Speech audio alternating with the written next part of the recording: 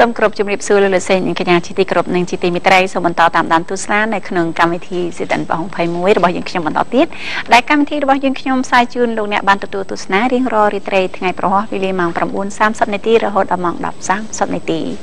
នៅក្នុងថ្ងៃនេះដែរវេទិកានៃកម្មវិធីសិទ្ធិបង21របស់យើងខ្ញុំនឹងធ្វើឲ្យអារម្មណ៍របស់លោកលោកស្រីនិងកញ្ញាទទួលនៅភាពស្រស់ស្រាយមួយបែបទៀតដោយយើងខ្ញុំបានអញ្ជើញតារាចម្រៀងដែលកំពុងតែមានឈ្មោះបោះសម្លេងស្ថិតនៅក្នុងស្រទាប់យុវវ័យរបស់យើងដែលតែងតែមានការគ្រប់គ្រងទៅលើគាត់ជាពិសេសទឹកដមសំនៀងនឹងរាល់បទចម្រៀងនីមួយៗនៅពេលដែលគាត់ចេញនៅបទចម្រៀងថ្មីថ្មីយើងតែងតែមានការទទួលស្គាល់និងការគ្រប់គ្រងច្រើន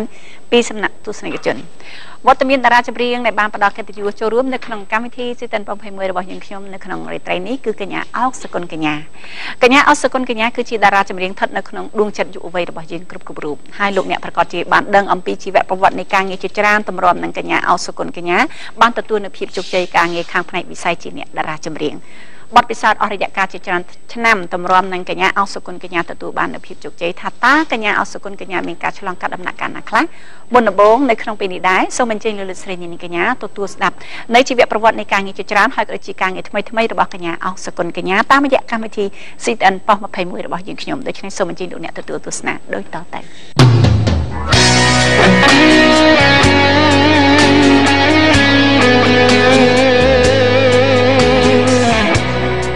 កញ្ញាអោសុគន្ធកញ្ញាត្រូវបានមិត្តមិត្តអាយុវវ័យនិងមហាជនគ្រប់ស្រទាប់វណ្ណៈទទួលស្គាល់ថាជាកំពូលតារាចម្រៀងពោពេញទៅដោយទេពកោសល្យទាំងផ្នែកសិល្បៈបុរាណនិងចម្រៀងសម័យប្រចាំប្រទេសកម្ពុជា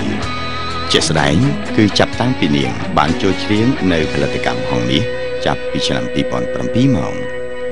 រហូតមកដល់ឆ្នាំ2013ទើបកញ្ញាបានច្រៀងបទចម្រៀងស្នាដៃថ្មីមិនចំណងពីគេដែលមហាជនគ្រប់គ្នាចង់ឃើញព្រោះវាជាការលើកស្ទួយមុខមាត់ខ្មែរផ្នែកតន្ត្រីទាំងក្នុងប្រទេសនិងក្រៅប្រទេសជាមួយនឹងការតុបតែងមុខយ៉ាងស្រស់ស្អាតរបស់កញ្ញាអោកសុគន្ធកញ្ញាក្នុងសម្លៀកបំពាក់ដ៏ស៊ីវិល័យនិងថ្លៃថ្នូររួមជាមួយនឹងការប្រើប្រាស់ទូរស័ព្ទដ៏ទំនើបទាន់សម័យលំដាប់កំពូលរបស់ Samsung ផងនោះវាពិតជាស័ក្តិសម និងរឹតតែធ្វើឲ្យកញ្ញាកាន់តែមានភាពតាក់ទាញនិងទទួលបានការចាប់អារម្មណ៍បន្ថែមបានមួយកម្រិតទៀតរូបភាពដ៏តាក់ទាញជាច្រើនថ្មីថ្មីនេះត្រូវបានគេចូលចិត្តនិងទទួលបានការចាប់អារម្មណ៍តាមរយៈការបង្ហោះលើទំព័រ Facebook ដោយសារតែតារារូបនេះនិយមចូលចិត្តការថតរូបនិងស្ទាយតុបតែងខ្លួនប្លែកៗនិងគួរឲ្យចាប់អារម្មណ៍ជាការចែកចាយទៅដល់អ្នកគ្រប់គ្រងជាច្រើនរបស់នាងនៅលើទំព័រ Facebook ទើបធ្វើឲ្យប្រជាប្រិយភាពរបស់កញ្ញាស្ទុះងើបបិទឈប់ឈរនិងបានទទួលការងារជាច្រើននៅក្នុងស្រុកពីការប្រគំតន្ត្រីធំធំ និងថតស្ពតផ្សាយពាណិជ្ជកម្មជាច្រើនទៀតដូចជា ក្រុមហ៊ុនភេសជ្ជៈកម្ពុជា Coca-Cola ភេសជ្ជៈ Cham Cham ក្រុមហ៊ុនទូរស័ព្ទ Samsung ដែលនៅក្នុងនោះកញ្ញាក៏ត្រូវបានតែងតាំងជា Ambassador តំណាងផលិតផលទូរស័ព្ទដៃរបស់ក្រុមហ៊ុន Samsung ផងដែរ បច្ចុប្បន្នសមិទ្ធផលថ្មីថ្មីរយៈពេលចុងក្រោយនេះសគុណកញ្ញាមានបទចម្រៀងថ្មីថ្មីដែលជាការនិពន្ធថ្មីជាច្រើនបទនិងការងារជាគណៈកម្មការដាក់បន្ទុកនៅក្នុងកម្មវិធីរបស់ស្ថានីយ៍ទូរទស្សន៍នេះគឺកម្មវិធី The Voice Cambodia និង Cambodia Idol Season 1 នាពេលបច្ចុប្បន្ននេះកញ្ញាក៏នៅតែមានចម្រៀងជាច្រើនបទបន្ថែមទៀតជាមួយនឹងការតម្រូវទៅតាមស្រទាប់មិត្តអាយុវ័យនិងមិត្តវ័យដដែលដោយមានបទចម្រៀងចាស់ចាស់យកមកច្រៀងជាថ្មីឡើងវិញពេលខ្លះការងារសិល្បៈក៏ធ្វើឲ្យកញ្ញាមានអារម្មណ៍ថានឿយណាយប៉ុន្តែទន្ទឹមនឹងនោះនាងក៏នៅតែខិតខំប្រឹងប្រែងដោយសារតែមានការលើកទឹកចិត្តនិងការគ្រប់គ្រងយ៉ាងច្រើនអំពីសំណាក់អាយុវវ័យ និងមហាជនគ្រប់ស្រទាប់នេះហើយគឺជាកម្លាំងចិន ដែលជំរុញឲ្យកញ្ញាមានការវិវត្តខ្លួនឲ្យខ្លាយជាកំពូលតារាចម្រៀងមានគេឈ្មោះទាំងការតបតែងខ្លួនតម្រូវគ្រប់វ័យនិងទឹកដមសំនៀងដ៏ពិរោះកញ្ញាគឺជាតារាចម្រៀងមួយរូបដែលមានការប្រយ័ត្ននៅក្នុងការតបតែងខ្លួនឲ្យស័ក្តិសមសម្រាប់មនុស្សគ្រប់វ័យហើយនាងតែងតែយកមតិនិងយោបល់ល្អៗជាច្រើនអំពីសំណាក់ចាស់ទុំនិងសិល្បករចាស់ចាស់ ដែលពួកគាត់តែងតែឲ្យយោបល់ល្អៗសម្រាប់នាងហើយម្យ៉ាងទៀតនាងតែងតែគិតជានិច្ចថានាងគឺជាតារារបស់មហាជនហើយថ្មីថ្មីនេះដែរកញ្ញាក៏បានចេញបទចម្រៀងជាច្រើនវល់បន្ថែមទៀតជាមួយនឹងបទចម្រៀងមនោសញ្ចេតនាបែបយុវវ័យនិងបទចម្រៀងបែប solo album ជាច្រើនបន្ថែមដើម្បីតបស្នងទៅនឹងការស្រឡាញ់ចូលចិត្តចំពោះទស្សនិកជនរបស់នាង។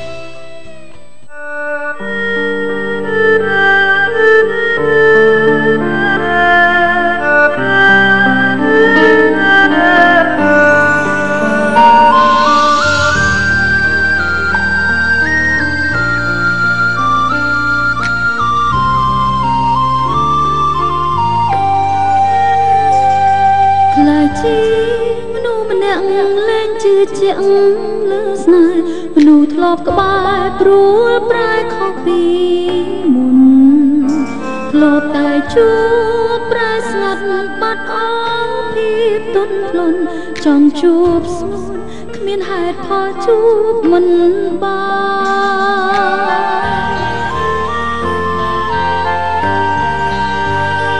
ទូរស័ព្ទបងអស់ថ្មខលមិនចូលច្រើនថ្ងៃ ឬក៏ថ្លៃបងរវល់ណាត់អ្នកផ្សេងស្នេហ៍ដើរដល់ផ្លូវនេះបត់ស្ដាំឬបត់ឆ្វេងផ្លូវវងវែងទៅមុខក៏ទៅមិនដល់បើទូរស័ព្ទអងថ្ម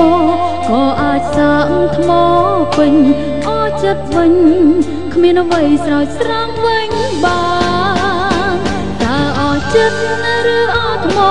ចង់បន្តឬបញ្ចប់គួរបញ្ចប់ទួនអូនមិនសូវស្អប់បងតើអត់ថ្មឬអត់ចិត្តប្រាប់ការពិតមិនដល់អូនផងមិនស្មោះត្រង់បងបន្តដើម្បី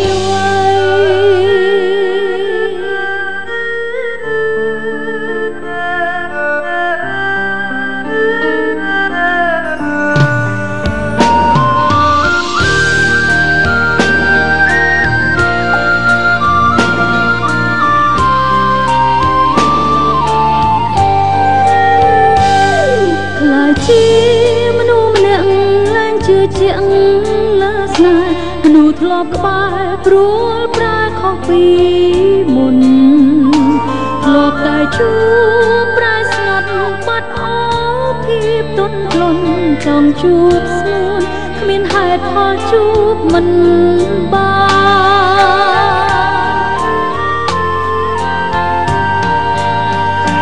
ទូរស័ព្ទបងអត់ថ្មខលមិនចូលច្រើនថ្ងៃ ឬក៏ថ្លៃបងរវល់ណាត់អ្នកផ្សេងស្នេហ៍ដើរដល់ផ្លូវនេះបត់ស្ដាំឬបត់ឆ្វេងផ្លូវវងវែងទៅមុខក៏ទៅមិនដល់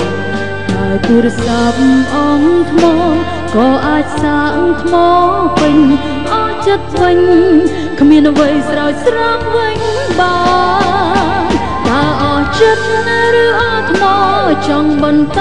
ឬបញ្ចប់គួរបញ្ចប់ទួនអូនមិនសូវស្អប់បងតើអត់ថ្មឬអត់ចិត្តប្រាប់ការពិតមិនដល់អូនផងមិនស្មោះត្រង់បងបន្តដើម្បីអ្វីតើអត់ចិត្តឬអត់ ថ្មចង់បន្តឬបញ្ចប់គួរបញ្ចប់ទួនអូនមិនសូវស្អប់បងតើអត់ថ្មឬអត់ចិត្តប្រាប់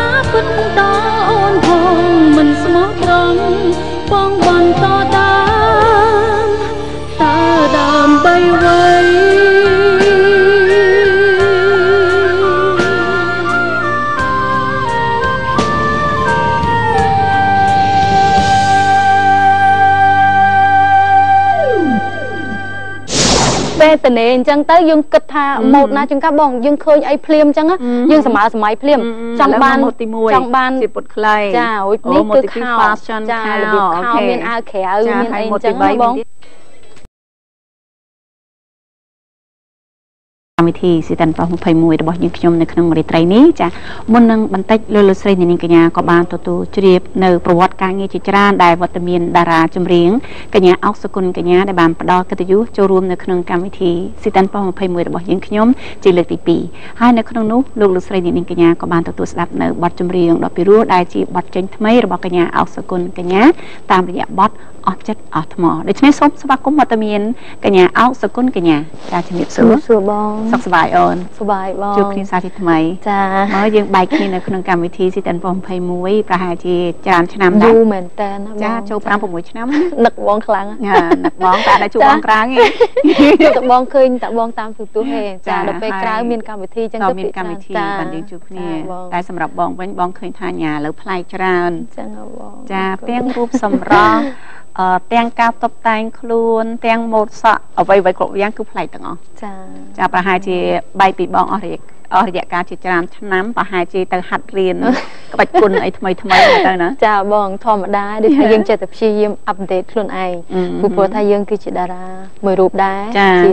ទស្សនិកជនទស្សនិកជនចាគាត់តែងតែតាមដានត្រូវរាល់ហើយសកម្មភាពទាំងចាការតុបតែងខ្លួនអឺហឹមទាំងអឺដូចថាជីវិតរស់នៅបច្ចុប្បន្នរបស់ចាយើងខ្លួនឯងហ្នឹងក៏គាត់ចាតាមដានដែរចាអញ្ចឹងចិត្តតែព្យាយាមធ្វើអ្វីដែលល្អហើយប្លែកប្លែកៗសម្រាប់ពួកចាគាត់បងយល់ឃើញថាសម័យឥឡូវនេះគេអឺម្នាក់ម្នាក់ជាពិសេសយុវវ័យរបស់យើងរត់ទៅតាមចែកវិទ្យាសាស្ត្រដ៏ទំនើបនិងទាន់សម័យចាបងដូចឥចាឡូវហ្នឹងគឺថាពិភពលោកនៅក្នុងកណ្ដាប់ដៃហ៎ចាត្រូវចាហើយដូចថាយើងប្រើតែម្រាមដៃរបស់យើងហ្នឹងយើងអាចចាចុចមើលឃើញគ្រប់ចាទីកន្លែងទាំងអស់ចាអញ្ចឹងក៏ដូចជាការរៀបចំខ្លួនរបស់នាងខ្ញុំក៏ដូចគ្នាអឺដូចថាយើងតែងតែ follow ទៅតាមអ្វីដែលគេហៅថាទាន់សម័យនិងទំនើបចាយើងតែងតែមានប្រព័ន្ធអ៊ីនធឺណិតដូចថាឥឡូវហ្នឹងយើងមើលឃើញគ្រប់កន្លែងចាអញ្ចឹងប្រទេសគេជឿនលឿនដល់កម្រិតណាយើងតែងតែរិះរកដូចថាចាឆ្នៃខ្លួនឯងឲ្យកាន់តែមានភាពទាន់សម័យទៅតាមនឹងចាពីព្រោះថាសូម្បីតែការប្រើប្រាស់របស់របរក៏ដូចគ្នាដែរត្រូវបងហើយចាអញ្ចឹងទាំងការឆ្នៃម៉ូដសម្លៀកបំពាក់បើសិនជាយើងដូចដូចថាយើងចេះតែគិតតែខ្លួនឯងក៏អត់បានដែរហឹមលើកលែងតែយើងដូចថាយើងតតែយើងឆ្នៃខ្លួនឯងផងយើងមើលផងចាចាយើងមើលពិភពលោកថាគេដើរដល់ណាហើយចាប្រទេសនេះគេដើរដល់ណាហើយចាអញ្ចឹងការដែលមើលហ្នឹងគឺ ទៀមទាបំផុតបច្ចេកវិទ្យាចាទាន់សម័យនិងចាទំនើបអញ្ចឹងនាងខ្ញុំមានឧបករណ៍អូទំនើបចានៅក្បែរខ្លួនច្រើន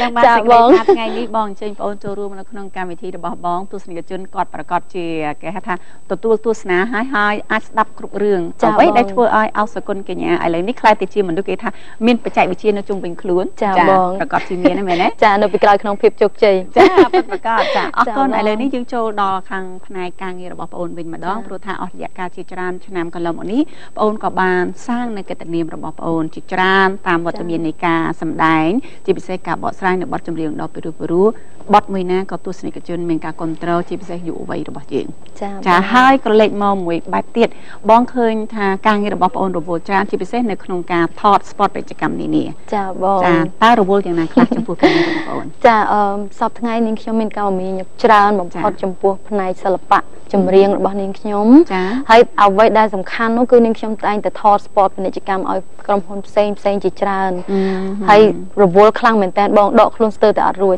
ដោយចាសារតែការថតផ្សាយពាណិជ្ជកម្មឲ្យ tab និងអឺទូរស័ព្ទដៃរបស់ក្រុមហ៊ុន Samsung អូចាអបងញ្ចឹងចាចា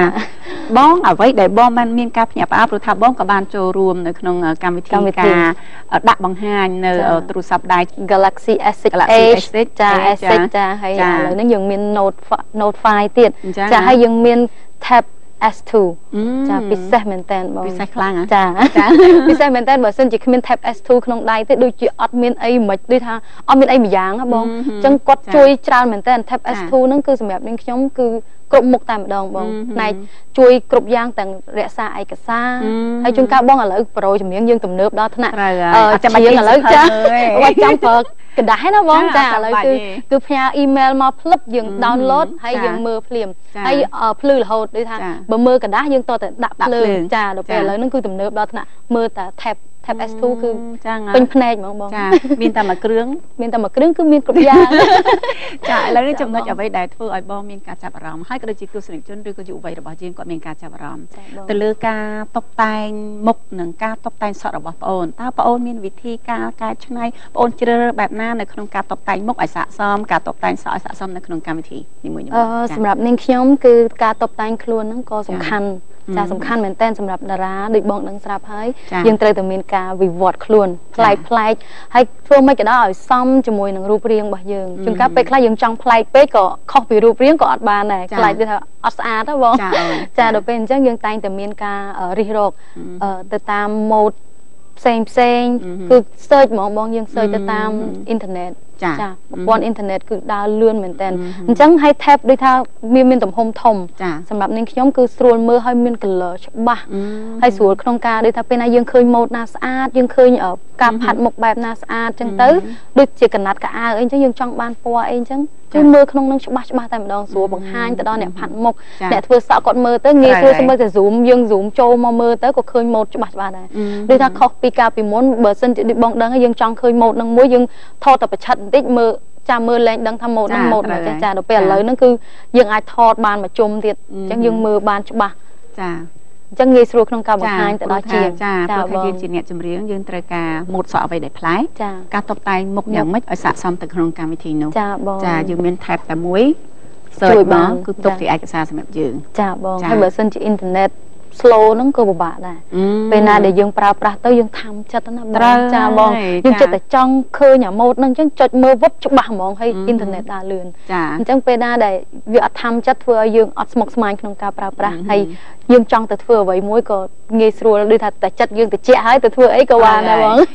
ចាមួយវិញទៀតបងក៏បានឃើញមានការប្លែកច្រើនទៅលើចាមួបងតសម្លៀកបំពាក់ម៉ូដចាសម្លៀកបំពាក់បងចេះគូមួតសម្លៀកបំពាក់អត់អូសម្រាប់មិនអឺ មិនជាអ្វីដែលដូចថាមិនពិសេសប្រហែលទេសម្រាប់ការច្នៃម៉ូដសម្លៀកបំពាក់គ្រាន់តែថាអឺពេលណានឹកឃើញម៉ូដអីដូចថាតំណងយើងសម័យសម័យហ៎បងចាអូនចាទន្ទឹមនឹងការសម័យសម័យយើងមើលច្រើនយើងសម័យសម័យហើយអឺហឺយើងសម័យមកលើរូបរាងរបស់យើងអឺពីមួយម្ដងពីមួយពេលទៅមួយពេលយើងប្រែប្រួលរបៀបម៉េចហើយយើងចាអាចចង់បានម៉ូដរបៀបម៉េចអញ្ចឹងអឺហឺខ្ញុំភាកច្រើនខ្ញុំគូទុកខ្លួនឯងអញ្ចឹងចាបងអូចេះគូទៀត ចេះតែបងអីគូទុកនៅក្នុងទូរស័ព្ទដៃខ្លួនឯងបងស្មានចាបងស្មានតែទីវិចនេះណាចេះគូម៉ូដនេះចាអឺនិយាយទៅគូអឺមិនមិនគូស្អាតដូចថាដូចអ្នកជំនាញទេបងចាប៉ុន្តែគ្រាន់តែថាអឺខ្លះខ្លះដែរអាចចានេះអឺមានឥឡូវមកបងសុំចាមើលតិចមើលមើលស្នាដៃតិចមើលការគូម៉ូដកៅអៅទុកនឹងវាម៉េចរបៀបម៉េចឯបងនេះចាចាចាបងប្អូនចាគូហើយចាគូបងអូយដូចញ៉ាពេលអញ្ចឹងណាពេលចាបងគូមកខ្លួនឯងហ្មង ជូដូចញ៉ាអញ្ចឹងណាចាបងពេលតនេអញ្ចឹងទៅយើងគិតថាអឺម៉ូដណាជួនកាលបងយើងឃើញអីភ្លាមអញ្ចឹងណាអឺយើងសម័យសម័យភ្លាមចង់បានម៉ូដទី1ចង់បានជាពុតខ្លីចារួចអូនេះម៉ូដគឺទីខោ2 fashion ចាខោរបៀបអូខោខេមានអាវក្រៅចាមានហើអីយអម៉ូដញ្ចឹទីង3ណាបងទៀតមានប៉ុន្មានម៉ូដចាមានពីរម៉ូដហ្នឹងសម្រាប់ដូចថាពូទុកហ៎ចាពូពូពូពេលខ្លះយើងត្រូវការស្លៀករ៉ូបអឺទៅចូលរួមកម្មវិធីដូចឧទាហរណ៍ដូចថ្ងៃនេះអញ្ចឹងបងចាចាដំបូងមកគូចេញមកដំបូងជាងកាមានតែមានតែខាងក្រៅអីនេះទេអឺអត់ទាន់មានម៉ូដនេះអត់ទាន់មានម៉ូដស្បៃទេអឺហឺដល់មកឡងមកសន្ទុះទៅដូចថាយើងសម័យសម័យទៀតយើងចិត្តតែទាញយកមកគូអូចាដល់ពេលអញ្ចឹងយើងងាយស្រួលក្នុងការគូនៅក្នុងអឺចាទូរស័ព្ទដៃផ្ទាល់ហើយពេលណាដែលយើងគូហើយអញ្ចឹងហ៎បងចាសេវទុកភ្លាមអញ្ចឹងហើយជួនកាលរវល់ពេកអឺហឺអត់មានពេលទៅជួបជាងហ៎បងអូយើងសែនចាយើងសែនភ្លាមសែនរួចអូហ្នឹង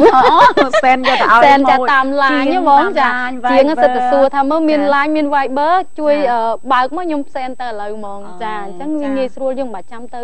ផ្ទាល់ឬក៏យើងអឺហឺព្រោះអីជាងជួនកាលយើងទៅវាស់ម្ដងហើយយើងដឹងចិត្តគ្នាហើយបងចាអូនចាដល់ពេលអញ្ចឹងយើងគ្រាន់តែ call ទៅខ្ញុំមានម៉ូដថ្មីខ្ញុំគិតអញ្ចឹងទៅឲ្យគាត់អូខេចាផ្ញើឲ្យគាត់ភ្លាមៗចានិយាយទៅបិចនេះល្អណាចាបងចាលឿនទៀតណាបងចាបើសិនជាធ្វើម៉េចបងបានបិចហ្នឹងអូបងពេលបែបបងទៅអឺទិញទូរស័ព្ទដៃអឺហឺ Note 5ហ្នឹងចាគឺបង Note បាន5ភ្លាមបានបិចភ្លាចាម free បិចមួយ free បិចចុះបើអត់បានទិញ Note 5 ចាបើអត់បានដូចអត់ទេបង ដូចអត់ទេបិច ចា ដូច ដូចអ អ ត់ ត់ ទេ ទេណា បងចា ចា ហើយអត់លឿនអញ្ចឹងឯណា បងអត់អាចយកខ្មៅដៃមកគូ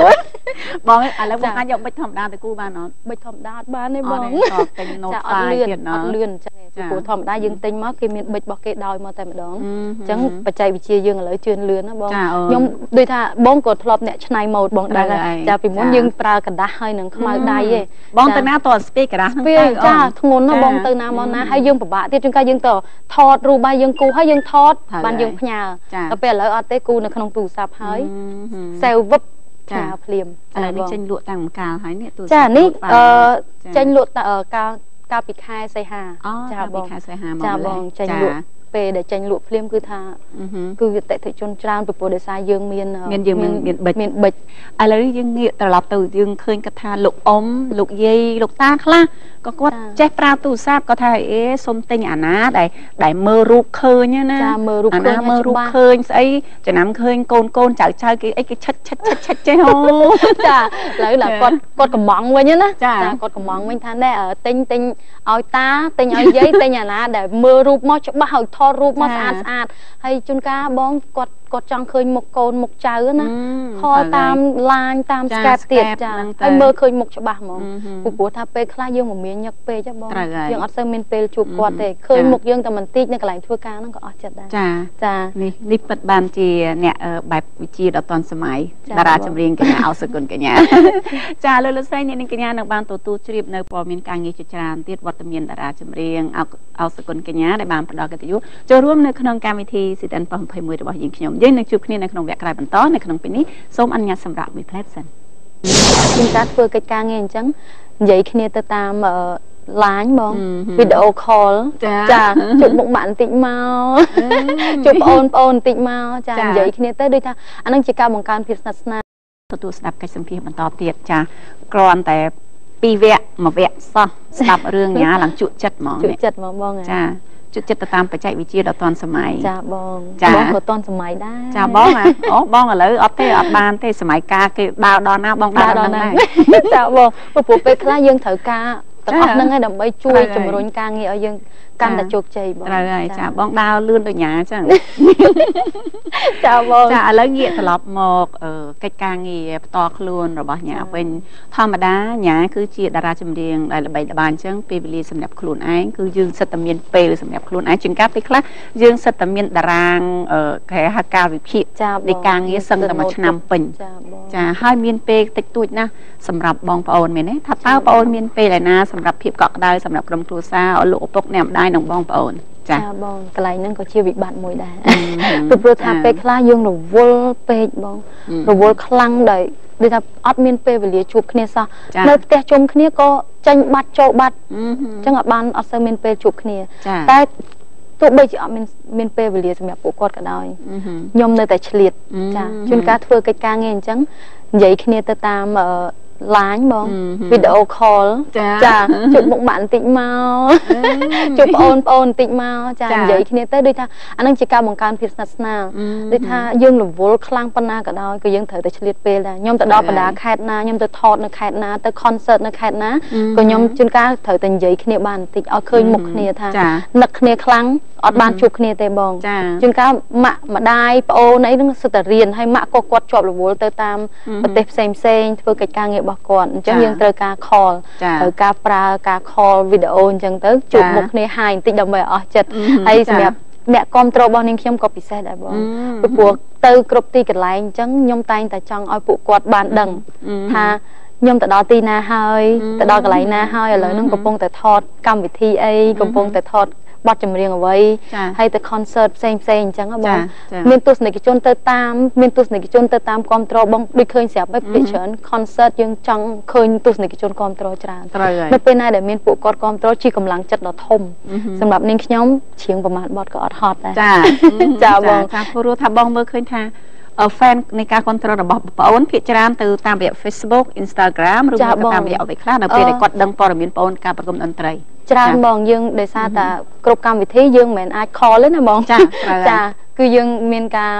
បង្ហោះ status អឺអញ្ចឹងខ្ញុំអឺខ្ញុំភាគច្រើនឲ្យតែខ្ញុំចេញទៅអឺ concert នៅខេត្តដូចថាសៀមរាបបាត់ដំបងអឺអញ្ចឹងទៅចាខ្ញុំតែងតែថតរូប មកអឺប៉ុស selfie ខ្លួនឯងចាចាហើយឡើង status មួយអញ្ចឹងទៅចាជួបគ្នានៅខេត្តណាខេត្តណាអញ្ចឹងទៅតាមកម្មវិចាធីអីគាត់ដឹងទៅតាមហ្នឹងដល់ចាគាត់ដឹងគាត់ទៅចូលរួមយ៉ាងច្រើនអឺមួយនេះគឺជាការផ្សព្វផ្សាយរបស់ខ្លួនឯងមួយហ៎បងចាតែពិតត្រូវពួកហើយគាត់ពួកគាត់ចង់ដឹងណាពីព័ត៌មានអឺចង់ដឹងថាតែពិតគាត់ចង់ទៅមើលយើងផ្ទាល់ជាងកាក៏អត់ដឹងទេតែពេលយើងបង្ហោះយើងផ្សព្វផ្សាយទៅតាមអឺ Facebook ហើយនិងអឺ Instagram របស់នាងខ្ញុំទៅអឺគឺគាត់បានដឹងពីព័ត៌មានទាំងអស់នោះគាត់ចាមកចូលរួមអឺចាធ្វើឲ្យមានការ អ៊ូអរនៅក្នុងកម្មវិធីហើយដល់ពេលណាតែឃើញមុខពួកគាត់ហ្នឹងគឺថាសប្បាយចិត្តហ្មងអឺធ្វើការលែងហត់ចាត្រូវហើយចាបងចាព្រោះថា fan គឺជាកម្លាំងចិត្តមួយដ៏ធំធេងបំផុតចាបងកាលណាបើសិនជាយើងទៅច្រៀងនៅក្នុងកម្មវិធីអ្វីមួយហើយអត់មានអ្នកទស្សនាសោះចាអារម្មណ៍យើងក៏លែងក៏ធ្លាក់ទៅតាមក៏ធ្លាក់ដែរតាមហ្នឹងចាសឹងថាអឺជួនកាលសមត្ថភាពហ្នឹងយើងមានយើងមានច្រើនណាប៉ុន្តែដល់បាក់ទឹកចិត្តទៅចាបាត់អស់លេងចាចាទៅពេលណាជួនកាលសមត្ថភាពរបស់យើងមានកម្រិតត្រឹម70%ឯងគាត់តែឃើញពួកគាត់មកឡើង100ពេញភ្លាមហ្មងអឺជាងថាជ្រៀងថាមកពលមិនដឹងមកពីណាឯងចាណាបងអឺដោយសារសំឡេងគ្រប់គ្រងពួកគាត់ហ្នឹងគឺធ្វើឲ្យយើងមានកម្លាំងចិត្តចាចាចាបងឥឡូវងាកត្រឡប់មកវិធីនៃការថែទាំសម្រស់របស់អាញាវិញ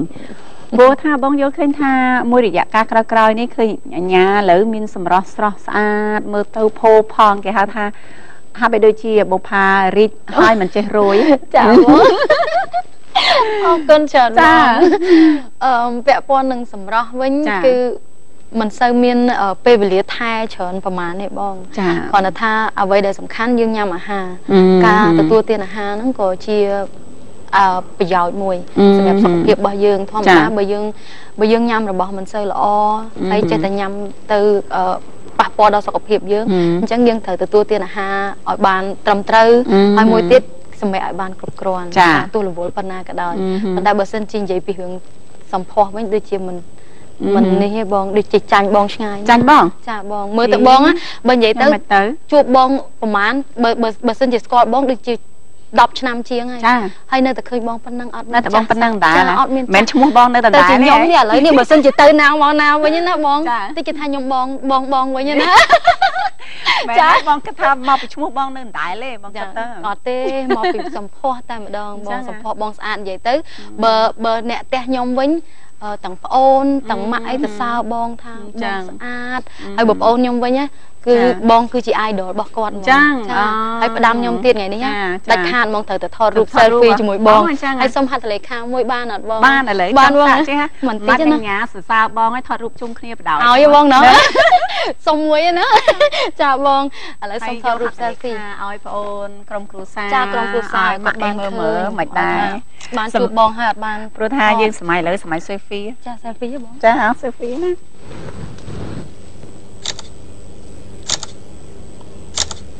ពិតជាស្អាតជាងញ៉ាំមែន ស្អាតមែនតាបងឃើ អូ ញ យនិយាយលេង ខ្ញុំពិបាកមែនតាបាក់ចិត្តហ្មងឥឡូវតែអញ្ចឹងណាបងណា មែ ឥ ន ឡូវ អូន សុំហត្ថលេខាបងអត់សុំដាក់លើกระดาษទេ សុំសញ្ញាលើរូបថតហ្មងមែនទេអូន សុំសញ្ញាហ្មងបងសុំសញ្ញាលើហ្នឹងហ្មងបង ល្អខ្លាំងណាស់ថ្ងៃហ្នឹងណាអឺថ្ងៃហ្នឹង my idol របស់នាងខ្ញុំគាត់មកសុំ selfie មួយនាងខ្ញុំ អូនមកអញ អចាហើយតមកឲ្យនាងខ្ញុំសញ្ញេចានៅលើរូបថតនេះទៀតអឺ ហើយបានសៅទុកហ្មងបង ចាអូខេ អត់បាត់ទេបង ឥឡូវបងសញ្ញេណាណា ចាបង អូខេ ហើយដាក់មួយទៀត session I love you អូ thank you បង I love you នេះ too ចាចាឃើញអត់ថាសើទុកបឹបសៅភ្លាមបងនេះហឹបហឹប ចាអើយអរគុណច្រើនបអងរគុណប៉ុន្តែចាំមើលអ្នកផ្ទះខ្ញុំអណាស់ហើយអឺសំខាន់ដូចថាយើងរក្សាទុកហ្មងហើយចាំមើលខ្ញុំអត់ខ្ញុំអត់នេះទេណាបងខ្ញុំអត់មានមិនមែនមិនមែនសុំសញ្ញាបងហើយខ្ញុំយកទូរស័ព្ទទៅឲ្យប្អូនទេណាខ្ញុំសែនឲ្យប្អូអូនណាបងស្មានចាយកទូរស័ព្ទមកយកផ្ញើអត់យកទេឲ្យគាត់អញ្ចឹអូងរបស់ខ្ញុំខ្ញុំត្រូវប្រើខ្លួនឯងចាចាអញ្ចឹងខ្ញុំផ្ញើទៅឲ្យគាត់ទោះបីជាគាត់នៅណាក៏ផ្ញើដែរចាខ្លាច អឺអត់បានអត់បានទទួលហត្ថលេខាបងផ្ទាល់ចាអរគុណឲ្យប្រាំផ្ញើ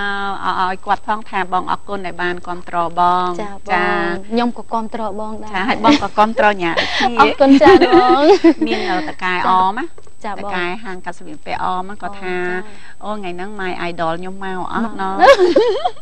ចឹងហ៎បងចិត្តបတ်ចម្រៀងអឺសុំម្ដងទៀតមើលសុំម្ដងទៀតមើលឥឡូវចេះចឹងហ៎កំណាច់ហ្នឹងឥឡូវអឺបងគិតថាគាត់កំពុងតែទស្សនាឯងចាតកែបងអមហាងកាត់សម្លៀកបំពាក់ហាងកាត់សម្លៀកបំពាក់សុំឲ្យញ៉ាជ្រៀងគោកឲ្យផ្ញើឲ្យតកែអមផងបានថាបងហើយផ្ញើជូនទស្សនិកជនណាចាសុំបងម្ដងចាទៀតមើល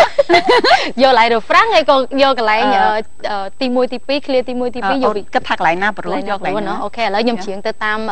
អឺចាអារម្មណ៍ណាអត់ទៅទៀតចាអូខេហោះតបងរាប់ចាបង1អូខេ2 3ចា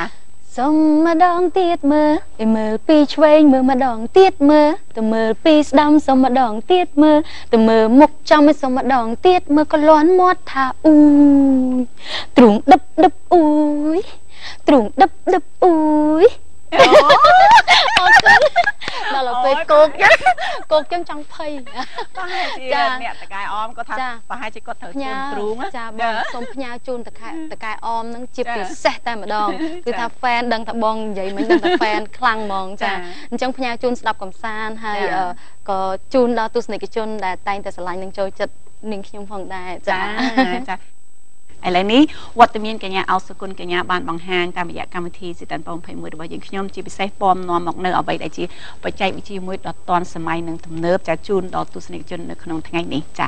ហើយភាពអស្ចារ្យការងារជាច្រើនទៀតដែលលោកលោកស្រីអ្នកនាងកញ្ញាបានឃើញនេះគឺជាសមិទ្ធផលថ្មីថ្មីតារាចម្រៀងរបស់យើងហើយសង្ឃឹមថាបងប្អូនយុវវ័យទាំងអស់គ្នានឹងបង្ហាញអំពីសមត្ថភាពរបស់ខ្លួនឯងត្រូវតែក្លាហានអ្វីដែលខ្លួនឯងមានជាពិសេសយើងត្រូវគិតថាបើសិនជាយើងស្រឡាញ់នៅជំនាញណាមួយយើងស្រឡាញ់នៅជំនាញជាតារាចម្រៀងថាតើគូណាតែយើងប្រតិបត្តិខ្លួនរបស់យើងដោយរបៀបណាធ្វើយ៉ាងណាឲ្យយើងស្ថិតនៅក្នុងគោលដៅមួយអ្វីដែលយើងចង់បានជួបគ្នានៅក្នុងវគ្គក្រោយបន្តទៀតនៅក្នុងពេលនេះសូមអនុញ្ញាតសម្រាប់មួយ present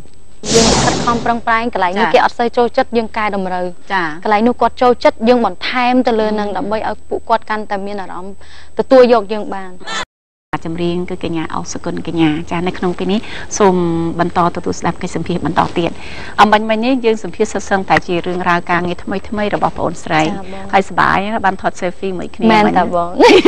ញ៉ាភ្លាមចាព្រោះចាថាសម័យឥឡូវគឺតាន់សម័យត្រង់ថា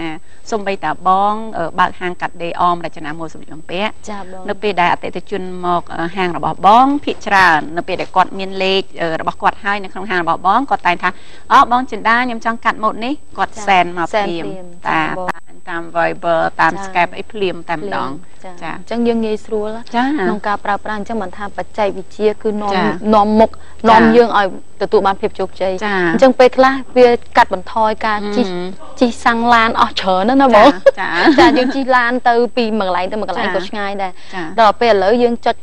សែនឲ្យគ្នាបន្តិចចាគឺយើងទទួលបានព័ត៌មានចាឥឡូវហ្នឹងយើងអាច record សំឡេងទៀតណាបងមិនបាច់ចាំត្រូវ call បាច់ទេចាំ call ទេចាចា record សម្លេង record ផ្ញើសំឡេងផ្ញើភ្លាមភ្លាមៗហើយចាមួយវិញទៀតឥឡូវនេះយើងកាត់បន្ថយបើសិនជាមានរៀបចំពិធីមង្គលការពិធីជប់លៀងកម្មវិធី birthday អីចឹងអត់ចាំបាច់យកសម្បត្តិទៅឲ្យគេថាអត់អីទេថតមកផ្ញើផ្ញើមកមកតាម Facebook ក៏បានដែរចាចាបងអញ្ចឹងចាំយើងផ្ញើចំណងដៃតាម Facebook វិញអត់ទេចំណងដៃមែនតើអត់ទេមែនតើទេបងមនុស្សអីអត់មានអត់អត់មានណា scan មនុស្សផ្ញើទៅ ចំណងដៃតែការប៉ັດប្រតែកបឲ្យពពួកយើងចាអឺធម្មតាយើងភ្លាមភ្លាមៗយើងសែនតាមអឺចា Facebook តាម Line ភ្លាមភ្លាមៗទៅដើម្បីឲ្យទទួលដំណឹងចាថាយើងបានផ្ដល់ដំណឹងហើយឥឡូវហ្នឹងមានកម្មវិធីអឺ birthday ចាកម្មវិធីអាពាហ៍ពិពាហ៍អីអញ្ចឹងហើយចាដល់ពេលអ្នក ដូចថាអ្នកគាត់រវល់អញ្ចឹងណាចាគាត់នៅខេត្តអូនឆ្ងាយឆ្ងាយអញ្ចឹងទៅគាត់ចាអាចដល់ថ្ងៃមកចូលរួមតែម្ដងចាបងឥឡូវយើងងាកត្រឡប់មកផ្នែកការងារបន្ថែមទៀតអឺការសម្ដែងរបស់បងអូនមកដល់ឆ្នាំនេះយើងសាងកិត្តិនាមមកអស់រយៈកាលជាច្រើនឆ្នាំចាតម្រាំនឹងគេស្គាល់ពីស្នាដៃរបស់បងអូនចាបងបងអូនធ្វើការប្រៀបធៀបកាលពីមុនមកដល់ឥឡូវវាខុសគ្នាយ៉ាងណាខ្លះចាបងអឺបើនិយាយពីកាលពីមុននឹងមកដល់បច្ចុប្បន្នហឹមគឺមានការខុសគ្នាខ្លាំងបំផុតចាដោយសារតែ ធម្មតាបងសមិទ្ធផលមួយបើសិនជាយើងចង់ឲ្យទស្សនិកជនទទួលស្គាល់អឺហឹមតើតែយើងមានការ ខិតខំប្រឹងប្រែងហឹមដោយខ្លួនឯងហើយរឹងចាមាំបំផុតអឺពេលណាដែលយើងរឹងមាំប្រកាន់គោលការណ៍ខ្លួនឯងថាយើងមិនបោះបង់ចោលអឺយើងនឹងខិតខំប្រឹងប្រែងកន្លែងនេះចាគេអត់សូវចូលចិត្តយើងកែតម្រូវចាកន្លែងនោះគាត់ចូលចិត្តយើងបន្ថែមទៅលើនឹងដើម្បីឲ្យពួកគាត់កាន់តែមានអារម្មណ៍ទទួលយកយើងបានអឺតាំងពីដំបូងដូចកាលពេលជួបបងលើកចាមុនណាខ្ញុំតែងតែនិយាយប្រាប់បងបងតែងតែនិយាយចាថាបងអូនមិនដែរការងារអញ្ចឹងដូចគ្នាបងឥឡូវមកដល់ថ្ងៃនេះខ្ញុំសប្បាយចិត្តដែលបានមកជួបបងនាំនៅអឺភាពចាគេហៅថាភាព ជោគជ័យមួយក៏ដូចជាគេថាការវិវត្តខ្លួនចាការវិវត្តខ្លួនទាំងផ្នែកសិល្បៈរបស់នាងខ្ញុំនិងការហឹមរស់នៅជីវភាពរស់នៅបច្ចុប្បន្នចាដូចថាយើងតែងតែព្យាយាមរកអ្វីដែលល្អនិងប្លែកជូនដល់ទស្សនិកជនទាំងអឺការរៀបចំបទចម្រៀងធម្មតាបងអឺដូចថាយើងមាន បទចម្រៀងផលិតបទចម្រៀងថ្មីថ្មីប្លែកប្លែកដើម្បីឲ្យគាត់បានស្ដាប់ទៅគាត់ចូលចិត្តទាំងរូបភាពយើងរិះរកនៅអ្វីដែលថ្មីសម្រាប់គាត់ក៏ដូចជាការរៀបចំខ្លួនហើយអឺជាពិសេសគឺសូម្បីតែការរស់នៅក៏ទស្សនិកជនគាត់ចេះតែចង់ដឹងចាចាចង់ដឹងចង់ឮថាតើតារាគាត់រស់នៅរបៀបម៉េចចាជីវិតរបស់គាត់សាមញ្ញដូចជាពួកយើងអត់ចាចាឬក៏យ៉ាងណាគឺដូចគ្នាទេបងចាអញ្ចឹងខ្ញុំនាងខ្ញុំតែងតែ ព្យាយាមបង្ហាញអឺរាល់ការរស់នៅរាល់ការអឺដើរហើររបស់នាងខ្ញុំនិងការធ្វើកិច្ចការងារទាំងអស់យើងបង្ហាញឲ្យពួកគាត់ឃើញចាចាយើងអត់មានលក្ខកំបាំងចាចាត្រូវបហើយងចាបងអូនយល់ឃើញយ៉ាងណាដែរចំពោះតម្លៃនៃសិល្បៈហើយមានអ្នកខ្លះក៏តែងតែគិតថាអ្នកសិល្បៈគ្រាន់តែជាសម្រស់មួយសម្រាប់កំដរអារម្មណ៍ទស្សនិកជន សម្រាប់នាងខ្ញុំគឺបងប្អូនគាត់យល់ឃើញបែបនេះជាការគិតរបស់ពួកគាត់ចាចាប៉ុន្តែបើសម្រាប់នាងខ្ញុំនាងខ្ញុំយល់ថា គឺនាងសម្រាប់នាងខ្ញុំគឺមានតម្លៃខ្លាំងបំផុតជីវិតជាអ្នកសិល្បៈបើសិនជាយើងធ្វើខ្លួនឯងឲ្យបានល្អនិងអឺហឹមកសាងកេរ្តិ៍ឈ្មោះហើយជាពិសេសដូចបានបង្ហាញបងអញ្ចឹងចា៎គឺថាទាំងការរស់នៅទាំងការអឺធ្វើកិច្ចការងារជាច្រើនគឺយើងបង្ហាញទស្សនិកជនចា៎ហើយពួកគាត់ទទួលយកយើងទាំងសមត្ថភាពទាំងអឺ ជីវិតរស់នៅក៏ដូចជាគេហៅការនិយាយស្ដីចា៎ផ្សេងផ្សេងអញ្ចឹងសម្រាប់នាងខ្ញុំនាងខ្ញុំតែងតែឲ្យតម្លៃទៅលើអឺចា៎វិស័យសិល្បៈពីព្រោះថាសិល្បៈនាំនាំច្រើនណាស់បងអឺនាំភាពអឺនាំភាពសប្បាយរីករាយចា៎ក៏ដូចជាគេហៅថាដូចជាកញ្ចក់ឆ្លុះបង្ហាញពីសង្គមអឺគឺថាសង្គមយើងឥឡូវដើរដល់កម្រិតណាយើងចា៎ជឿនលឿនដល់កម្រិតណាចា៎អញ្ចឹងសិល្បសិល្បៈនៃការបង្ហាញចា៎អញ្ចឹងដូចបទចម្រៀងរបស់នាងខ្ញុំនាងខ្ញុំតែងតែបង្ហាញមានអត្ថន័យល្អល្អទៅដល់ចា៎ទស្សនិកជនដល់បងប្អូនជាច្រើនចា៎ទាំងអស់នេះគឺជាសមិទ្ធផលមួយដែលយើងបង្ហាញជូនទៅពួកគាត់ចា៎ហើយនាងពេលដែលនាងខ្ញុំទៅដូចថាគេហៅថាធ្វើការងារគេហៅបែបថាអឺសុចរិតមួយចា៎ការងាររបស់នាងខ្ញុំសពថ្ងៃគឺនិយាយបានថាសុចរិតចា៎គឺនាងខ្ញុំ បង្ហាញនៅចម្រៀងរបស់នាងខ្ញុំជា CD លក់ជូនដល់ពុកម៉ែបងប្អូនគាត់ជាវស្ដាប់ចា៎ចាហ្នឹងនាងខ្ញុំបានចំណូលទៅតាមហ្នឹងចាបងហើយនាងខ្ញុំទៅតាមបណ្ដាខេត្តទៅ concert ផ្សេងផ្សេងទៅថតកម្មវិធីផ្សេងផ្សេង sport ពាណិជ្ជកម្មហ្នឹងក៏ជាការងារមួយហើយគឺជាការងារដ៏ថ្លៃថ្នូរបំផុតហើយក៏នាងខ្ញុំមានមោទនភាពចំពោះខ្លួនឯងនិងក្រុមគ្រួសារដោយសារចា៎តែនាងខ្ញុំបានធ្វើកិច្ចការងារសិល្បៈយ៉ាងល្អប្រសើរសម្រាប់ជូនដល់ទស្សនិកជនហើយធ្វើខ្លួនឲ្យជាដូចដូចថាបងតែនិយាយថា idol ចា៎ចាធ្វើខ្លួនឲ្យសមជា idol របស់បងចា៎ប្អូនចំនួនក្រោយដើម្បីចា៎ឲ្យគាត់ដឹងគាត់ឃើញថានេះគឺជាតម្លៃសិល្បៈមួយចា៎ដែលយើងបានខិតខំដែលដែលជារៀមច្បងបានខិតខំប្រឹងប្រែងធ្វើនិងនិងជំរះរាល់ឧបសគ្គជាច្រើនដើម្បីឆ្លងកាត់ទៅដល់ភាពជោគជ័យមួយហើយឲ្យពួកគាត់ពេលណាដែលអ្នកណាដែលគាត់ចង់ក្លាយទៅជាអ្នកសិល្បៈឲ្យតែគាត់មានជំនាញច្បាស់លាស់ចាផ្នែកសម្ដែងក៏បានចា៎ ផ្នែកចម្រៀងក៏បានរាំក៏បានបងអឺហឺគ្រប់មុខទាំងអស់ឲ្យតែថាសិល្បៈហើយចា៎ខ្លួនឯងទទួលស្គាល់ថាខ្លួនឯងមានសមត្ថភាពមួយដ៏ពិតប្រាកដខិតខំបណ្ដុះបណ្ដាលខ្លួនឯងយើងយកសមិទ្ធផលយើងបង្ហាញជូនទស្សនិកជនចាត្រូវតែហើយគាត់ទទួលយកយើងបានអត់ចា៎ពេលណាដែលគាត់ទទួលយកយើងបាននេះគឺជាភាពជោគជ័យចាមួយពិតប្រាកដបងហើយចាព្រោះថាកញ្ញាក៏ជាអ្នកធ្លាប់ឆ្លងកាត់នៃការប្រឡងចម្រៀងចាបងជាប្រឡងច្រើនចម្ដំរៀណាងក់ការផងដែរចាមកដល់បច្ចុប្បន្នឥឡូវនេះចាអអឺកញ្ញាខ្លាយទៅជាគណៈកម្មការនៅក្នុងកម្មវិធីនៃការប្រឡងចម្រៀងចាច្រើនបងបងអូនយល់ឃើញយ៉ាងណាដែរចំពោះវិស័យចម្រៀងបច្ចុប្បន្នឥឡូវនេះចាចាសម្រាប់នាងខ្ញុំនាងខ្ញុំយល់ឃើញថាមានភាពងាយស្រួលច្រើនបំផុតចាសម្រាប់បងប្អូនដែលចង់ក្លាយទៅជាតារាចម្រៀងអឺហឺពីព្រោះថាងាយស្រួលយ៉ាងម៉េចដូចថាបងដឹងហើយកាលពីមុនក៏នាងខ្ញុំធ្លាប់ប្រឡងចម្រៀងការចា៎ផ្សព្វផ្សាយក៏មិនសូវដិតដល់ដូចថាយើងនៅឆ្ងាយអញ្ចឹងទៅហើយអឺការមធ្យោបាយធ្វើដំណើរហើយពេលដែលយើងទៅដល់យើងយើងទៅធ្វើការនោះគឺថាអឺកន្លែងដែលយើងត្រូវធ្វើការក៏មិនសូវងាយស្រួលដែរអឺដល់បច្ចុប្បន្នអ្វីអ្វីដូចថា កាន់តែរីករីកចម្រើនទៅចាតាំងពីការផ្សព្វផ្សាយទៅបីទៅដល់កន្លែងណាក៏គាត់អាចដឹងថាមានកម្មវិធីប្រឡងចម្រៀងហើយនៅចា៎ពេលដែលគាត់ដាក់ពាក្យប្រឡងចម្រៀង ខ្លួនឯងហ្នឹងគឺអាចបង្ហាញនៅសមត្ថភាពពិតប្រាកដអឺក្នុងការបង្ហាញទៅគណៈកម្មការហើយចា៎គាត់បានទទួលនៅយោបល់ល្អល្អជាច្រើនពីគណៈកម្មការហើយទស្សនិកជនបានស្គាល់គាត់ទៀតពីចា៎ព្រោះគាត់ចេញទៅតាមទូទស្សន៍ពីមួយវគ្គទៅដល់មួយវគ្គត្រូវទោះបីហើយជាគាត់មិនអាចទៅដល់វគ្គផ្ដាច់ព្រាត់ទេប៉ុន្តែគាត់អាចទទួលបានការស្គាល់ពីទស្សនិកជនអឺអញ្ចឹងគាត់អាចបង្ហាញសមត្ថភាពរបស់គាត់ពិតប្រាកដឲ្យទស្សនិកជនបានទទួលដឹងឮនៅសមត្ថភាពរបស់គាត់អញ្ចឹងមានបណ្ដាក្រុមហ៊ុនផ្សេងផ្សេងៗតាក់ទងអឺឲ្យគាត់ទៅអឺជឿថាចូលចូលធ្វើការមានមានមានការងារធ្វើច្រើនហើយគាត់ចា៎អាចអឺច្រៀងអាចដែលគេហៅថាបង្ហាញនៅសមត្ថភាពពិតប្រាកដជួនកាលអ្នកខ្លះគាត់អត់ចង់ធ្វើអីផ្សេងទេព្រោះគាត់ដូចស្រឡាញ់ចម្រៀងហ្នឹងហើយចា៎អញ្ចឹងចង់តែច្រៀងចង់ខ្លាចជាតារាចម្រៀងអញ្ចឹងនេះគឺជាស្ពានមួយដ៏ជោគជ័យមួយសម្រាប់ចា៎គាត់ដូចដូចនាងខ្ញុំជាក់ស្ដែងគឺនាងខ្ញុំមិនមែនជាម្ចាស់ជ័យលាភីអ្វីមួយចា៎ដូចថាប្រឡងកម្មវិធី អត់អត់បានជាប់ទេប៉ុន្តែចា៎នាងខ្ញុំចិត្តតែខំប្រឹងប្រែងព្រោះថាពេលពេលដែលយើងប្រឡងជួនកាលយើងមិនមិនគ្រប់គ្រាន់ទេអឺនេះគឺជាត្រូវហើយគឺនេះជាបទពិសោធន៍ពេលណាដែលយើងទៅប្រឡងយើងទទួលបាននៅបទពិសោធន៍ល្អល្អជាច្រើនពីអ្នករៀបចំកម្មវិធីក៏ដូចជាអឺគណៈកម្មការក៏តែងតែឲ្យយោបល់ថាបងអូនឯងបន្ថែមកន្លែងនេះបងអូនឯងបន្ថែមកន្លែងនោះអញ្ចឹងដល់ពេលត្រឡប់មកដល់ផ្ទះយើងបន្ថែមចា៎ពេលណាដែលយើងបន្ថែមទៅសមត្ថភាពរបស់យើងកើនដល់យើងអត់ដឹងខ្លួនទេបងអឺហឺអញ្ចឹងភាពជោគជ័យមិនមែនកើតឡើងដោយចៃដន្យចាចាចាបងស្ថិតនៅក្នុងតារាចម្រៀងមួយរូបដើម្បីធ្វើឲ្យយើងគឺជាមនុស្សគំរូសម្រាប់ទស្សនិកជនហើយដើម្បីធ្វើឲ្យគេឈ្មោះរបស់យើងស្ថិតនៅក្នុងចំហមួយយើងរក្សានៅតែភីអឺលំនឹងនៃភាពល្បីល្បាញរបស់យើងតើកញ្ញាមានគោលដៅយ៉ាងណាដែរសម្រាប់ខ្លួនឯងសម្រាប់ខ្លួនឯងផ្ទាល់គឺនាងខ្ញុំពង្រឹងចាបងតែងតែខិតខំប្រឹងប្រែងពង្រឹងខ្លួនឯងនិងរិះរកអ្វីដែលថ្មីនិងប្លែកអឺសម្រាប់ខ្លួនឯងដើម្បីចែកជូនដល់ទស្សនិកជនចាហើយគេហៅថា ថែរក្សាចាចាបង្កើនអ្វីដែលថ្មីហើយថែរក្សាចាថែរក្សាទាំងសំឡេងពីព្រោះធម្មតាបងយើងអ្នកអ្នកអ្នកចម្រៀងចាសំខាន់បំផុតគឺសំឡេងត្រូវហើយចាអញ្ចឹងយើងត្រូវការឲ្យសំឡេងហ្នឹង ល្អហើយតែយើងដុសខាត់បន្ថែមអឺមិនមែនថាអឺខ្ញុំមានកម្រិតប៉ុណ្ណឹងខ្ញុំច្រៀងតែប៉ុណ្ណឹងទេចាអញ្ចឹងយើងអត់ហ៊ានវាយលុកទៅលើអីផ្សេងទេអឺហឹមអញ្ចឹងដូចថាបើបើតាមអារម្មណ៍របស់ខ្ញុំនាងខ្ញុំឃើញថាបច្ចុប្បន្នមានបងប្អូនមួយចំនួន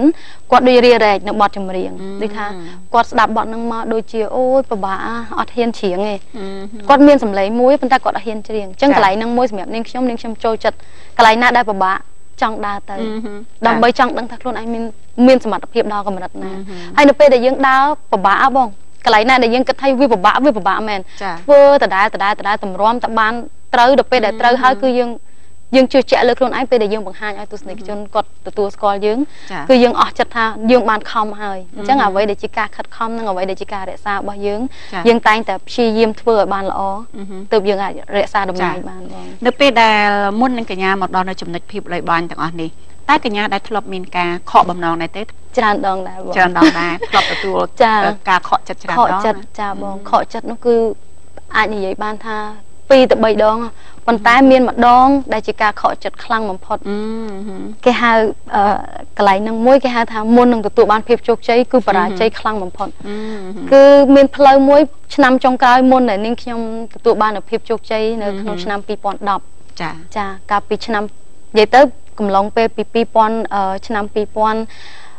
2007រហូតដល់2010រយៈពេលជាង3ជាង3ឆ្នាំចានាងខ្ញុំគ្មានកម្លាំងចិត្តសោះបងអឺគ្មានកម្លាំងចិត្តថាធ្វើអ្វីទៀតទេចង់បោះចោលអឺចាចាប្រហែលជា6ខែចុងក្រោយនាងខ្ញុំថាអឺនាងខ្ញុំអស់សង្ឃឹមហើយមុនចាពេលដែលនាងខ្ញុំឡើងយន្តហោះទៅអឺប្រទេសអូស្ត្រាលីចានាងខ្ញុំអស់សង្ឃឹមថាប្រហែលជានៅតែ បញ្ចប់ហ្មងចង់ហឹមទៅផ្លាស់ប្ដូរទៅទៅធ្វើអ្វីចង់ផ្សេងការងារអាជីពជាចង់បញ្ចប់អ្នកចម្រៀងចាបងថ្ងៃនោះចាគឺថាអស់សង្ឃឹមចំពោះខ្លួនឯងអឺហឹមគឺថាវិស័យចម្រៀងហ្នឹងអត់ទៅមុខចាធ្វើទៅធ្វើទៅបានល្អដែរគិតថាខ្លួនឯងធ្វើទៅគ្រាន់បើដែរប៉ុន្តែអត់ទាន់មានការទទួលស្គាល់ពីទស្សនិកជនខ្លាំងទេចាមានតែអ្នកស្គាល់ឈ្មោះធម្មតាប៉ុន្តែដូចថាគាត់មិនទាន់គេហៅថាមិនទាន់ដល់ចំណុចមួយដែលយើងចង់ចាបានចាអញ្ចឹងវាគេហៅដូចថាអាចនិយាយថាមិនទាន់ជោគជ័យសម្រាប់ខ្លួនឯងអញ្ចឹង អស់អស់កម្លាំងចិត្តអស់កម្លាំងចិត្តចង់បោះបង់ចោលអឺហឹមតែនៅពេលដែលចង់បោះបង់ចោលគិតថាខ្លួនឯងមានសម្លេងអឺហើយមានសមត្ថភាពកម្រិតហ្នឹងអញ្ចឹងនឹងខំបន្ថែមទៀតយើងនឹងស៊ូស៊ូបន្តទៀតតែយើងនឹងស៊ូដល់កម្រិតណានាងខ្ញុំទុកពេលឲ្យខ្លួនឯងរយៈពេលតែ6ខែបងអឺដាក់កម្រិតខ្លួនឯងចាថា6ខែហ្នឹងគឺព្យាយាមធ្វើឲ្យបានចាចៃដន្យបំផុតគឺនៅពេលដែលរយៈពេលហ្នឹងគឺកំពុងតែ Facebook អឺហឹម ចាបណ្ដាញសង្គម Facebook និង Instagram អីហ្នឹងចាប់គឺផ្ដើមកំពុងឡើងតែចាកំពុងតែចាឡើងហើយគឺនាងខ្ញុំមាន fan ដែលអត់ដឹងខ្លួនទេចា fan ដូចថាគាត់បង្កើតជា group fan អឺជាអ្នកគ្រប់គ្រងជាក្រុមគាត់គាត់គាត់អឺបង្ហាញបង្ហោះនៅក្នុងអឺអឺហឹមអឺ Facebook គាត់តែងតែ share នៅបទបទចម្រៀងថ្មីថ្មីៗដែលនាងខ្ញុំចាចាញ់លក់ហើយអឺគាត់ប្រម៉ូទច្រើនមែនតើនៅក្នុងអឺប្រព័ន្ធ Facebook ពេលដែលគាត់ប្រម៉ូទហ្នឹងធ្វើឲ្យអ្នកដែលគាត់ចង់លេងប្រព័ន្ធហ្នឹងគាត់ចិត្តតែព្យាយាមលេងទាំងអស់គ្នាចាហើយមានការផ្សព្វផ្សាយតាមវិទ្យុអឺទូរទស្សន៍ចាបន្ថែមទៀតដោយសារចាតែពេលហ្នឹងគឺថាផលិតកម្មរស្មីហងមាសគាត់មានបង្កើតវិទ្យុអឺភ្លាមភ្លាមៗមកបងចាពេលហ្នឹងគាត់ទៅតែចាប់ផ្ដើមបង្កើតវិទ្យុគាត់ចាក់បទចម្រៀងជាច្រើនហើយយើងមានទៅតាមវិទ្យុផ្សេងផ្សេងៗក៏មានចាក់ចាចាប់ផ្ដើមហ្នឹងខ្ញុំនាងខ្ញុំទៅអឺប្រទេសអូស្ត្រាលី នាងខ្ញុំមាន laptop មួយចាចាហើយនាងខ្ញុំតែងតែព្យាយាមអឺមើលទៅតាមនឹងហើយនាងខ្ញុំមានទូរស័ព្ទដៃខ្លួនឯងហ្នឹងទៅចេះតែព្យាយាមមើល search មើលហើយពេលហ្នឹងទើបតែមាន Facebook ថ្មីថ្មីៗយើងចេះតែចុចរហូតចាមើលចុះមើលឡើងទៅការ vote នៃការហើយជំនាន់ហ្នឹងបង My TV ក៏ខ្លាំងដែរហ្នឹងហើយចាចាគឺគាត់តែងតែប្រម៉ូទនៅបទចម្រៀងចាគេហៅ hit ប្រចាំបទសប្តាហ៍ថ្មីៗចាចាអញ្ចឹងគាត់ដាក់10បទអីអញ្ចឹងទៅស្រាប់តែបទនាងខ្ញុំឡើងលេខ1អឺនៅពេលហ្នឹងគឺ គឺទស្សនិកជនទទួលស្គាល់អឺដូចថាទាំងអស់គ្នាចិត្តតែចិត្តតែដាក់អូបទនេះព្រោះណាស់និយាយតចាតចាគ្នាហើយចាយើងបង្ហោះតតគ្នាទទួលបាននូវភាពជោគជ័យត្រឡប់មកវិញតាមបណ្ដាទូរទស្សន៍តាមបណ្ដាអឺអឺវិទ្យុផ្សេងផ្សេងគាត់តែងតែនិយាយថានេះគឺជាបទចម្រៀងដែលទទួលបានលេខ1នៅប្រចាំខែនេះប្រចាំអឺសប្ដាហ៍នេះអញ្ចឹងដល់ពេលនាងខ្ញុំដុតដៃដុតជើងបន្ថែមចាដូចថាមានកម្លាំងចិត្តបន្តិចណាចាបងដំបូងចាយើងអស់មែនតើណាទុកចាពេលឲ្យខ្លួនឯងដល់ដល់ពេលចាប់ផ្ដើមអឺមានអារម្មណ៍ថា ទាំងអស់គ្នាចេះឲ្យកម្លាំងចិត្តថាឥឡូវបត់ហ្នឹងជាប់លេខ1ហើយបត់ហ្នឹងចេះចេះចេះចេះចាប់ផ្ដើមដុតដៃដុតជើងថតខារ៉ាអូខេផងចេញតាមបណ្ដាទូរទស្សន៍ផ្សេងផ្សេងៗចាជា concert អីអញ្ចឹងចាស្រាប់ទទួលបានជោគជ័យនៅក្នុងឆ្នាំអឺហឹម2010ចាចាឆ្នាំ2010ដែលដែលទស្សនិកជនតែងតែថានាងខ្ញុំចា៎អាចទទួលបាននៅអឺចា៎ការគ្រប់គ្រងច្រើនហើយចា៎ពីបណ្ដាញសង្គម Facebook ចា៎គាត់ like ឡើងច្រើនមែនតើចា៎ ចា៎ចាអរគុណនៅក្នុងថ្ងៃនេះបងបានទទួលស្ដាប់នៅបទពិសោធន៍ការងារថ្មីថ្មីរបស់បងអូនជាច្រើនជាពិសេសទស្សនិកជនជាពិសេស fan fan របស់បងអូនចា៎ជាងការពេលខ្លះយើងអត់ដែលមានឱកាសបរិយាយរឿងពិត ជំរាបជូនដល់គាត់ទេចា៎មានតែចូលរួមនៅក្នុងកម្មវិធីនេះហើយដែលទៅមានឱកាសបកចង់ស្រាយផ្ដាំផ្ញើចង់ជម្រាបចា៎ជូនថាខ្ញុំក៏ធ្លាប់បរាជ័យដែរខ្ញុំមិនមែនកើតមកស្ថិតនៅក្នុងចំណុចជោគជ័យទេចា៎ចា៎ហើយបងអរគុណចុងក្រោយមានអ្វីផ្ដាំផ្ញើបន្ថែមទៀតចាសូមអរគុណជាចុងក្រោយចា៎នាងខ្ញុំសូមអរគុណដល់បងចា៎អរគុណនៅស្ថានីយ៍ទូរទស្សន៍ CTN ដែលបានផ្ដល់កិត្តិយសសម្រាប់នាងខ្ញុំចូលរួមក្នុងកម្មវិធីប៉ុស្តិ៍21ចាអូនអរគុណដល់អ្នកគ្រប់គ្រងនិងអ្នកស្រឡាញ់ទាំងអស់ពុកម៉ែបងប្អូនលោកអ៊ំលោកពូអ្នកមីងហើយមិត្តមិត្តយុវវ័យទាំងអស់គ្នាដែលតែងតែស្រឡាញ់និងគ្រប់គ្រងចូលចិត្តដល់នាងខ្ញុំហើយអរគុណថ្ងៃនេះដែលបានឲ្យនាងខ្ញុំបង្ហាញចា៎នៅបទពិសោធន៍ថ្មីថ្មីក៏ដូចជាបទពិសោធន៍ធ្លាប់ឆ្លងកាត់ជាច្រើនសម្រាប់ចា៎ជាបទពិសោធន៍ដល់អឺបងប្អូនដែលជាអឺយុវវ័យចំនួនក្រោយចា៎បើសិនជាស្រឡាញ់និងចូលចិត្ត ហើយគ្រប់គ្រងនាងខ្ញុំអញ្ចឹងទៅគាត់អាចទទួលយកនៅបទពិសោធន៍ជាច្រើន ពីនាងខ្ញុំទៅហើយចា៎ក៏ដូចជាបងដែរចា៎ចាបងគឺជាមនុស្សដែលទទួលបាននូវភាពជោគជ័យអដូចរគុគ្នាណអូនចាបងចាដូចគ្នាចាអរគុណជូនពរឲ្យបងអូនជោគជ័យការងារបន្ថែមទៀតចាអឱរគុណកាសក្រោយចា៎យើងនឹងអាចជួបគ្នានៅសមិទ្ធផលការងារថ្មីថ្មីរបស់បងអូនព្រោះចា៎ថាបងថ្ងៃនេះយើងបាន selfie ថតរូបមួយគ្នាចា៎ណាបងបានសញ្ញេចា៎ហើយបងដាក់ថា I love you ណាចាអរគុណបងច្រើនណាស់ចាចា៎ហើយនៅក្នុងរាត្រីនេះដែរចាកញ្ញាអោសុគន្ធកញ្ញាក៏មានបទចម្រៀងមួយបទដែលជាចំណងដៃតាមរយៈកម្មវិធីសិទ្ធិនប៉ុស្តិ៍21របស់នាងខ្ញុំបំពេអារម្មណ៍របស់លោកអ្នកមុននឹងចូលទទួលទានដំណេកនៅក្នុងរាត្រីនេះសូមឲ្យសុបិតល្អនៅក្នុងរាត្រីនេះចាថ្ងៃស្អែកគឺជាថ្ងៃថ្មីសម្រាប់នៅក្នុងរាល់កិច្ចការងាររបស់លោកអ្នកសូមប្រកបទៅដោយភាពជោគជ័យចាអរគុណដល់ហាងអមរចនាម៉ូដដែលតែងតែកាត់សម្ភារដល់នាងខ្ញុំគ្រប់កម្មវិធីលោកអ្នកអាចតាក់ទងតាមទូរស័ព្ទលេខ012 246 23ដងនិង012 363 363នៅជាប់ភោជនីយដ្ឋានស្លឹកចាអរគុណដល់បងប្អូនសុកជីដែលបានផាត់មុខនិងធ្វើសក់ដល់នាងខ្ញុំនៅក្នុងពេលនេះយើងខ្ញុំទាំងពីរនាក់សូមអរគុណសូមគោរពលា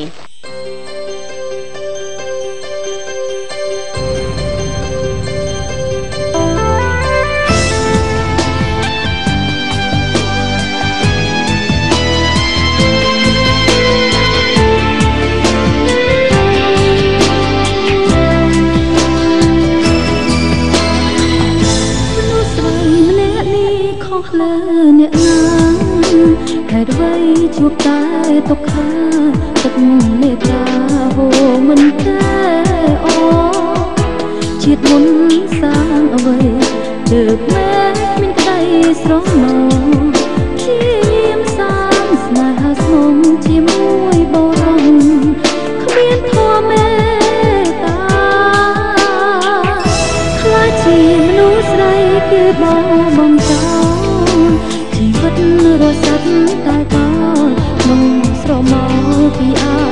ទឹកកតាព្យាយាមសង្ឃឹមញញឹមដាក់វត្តសង្សារម្នាក់ទៀតចូលមកប្រាប់ថាចង់ថែរក្សាបេះដូងកុំសត់មនុស្សស្រីម្នាក់នេះធ្លាប់ធ្វើខុសលើអ្នកណាគ្រាន់តែជាស្រីធម្មតាមិនដែលក៏កម្មពីជួបតែ មនុស្សក្បត់ល្អតែដំបូងបានមិនដងក៏ឃើញប្រកបរឿងខ្ញុំអ្នកណាកំណត់ជប់ស្នេហ៍ជួចចត់ទួ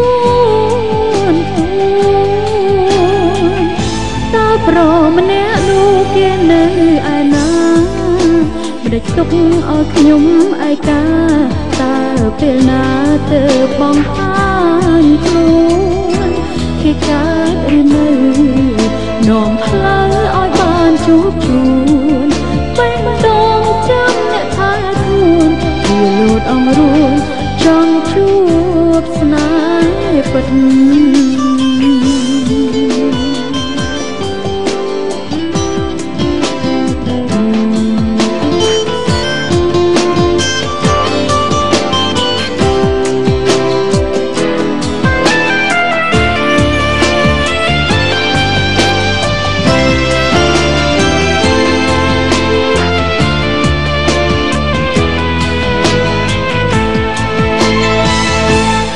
ស្សស្រីម្នាក់នេះធ្លាប់ធ្វើខុសលើ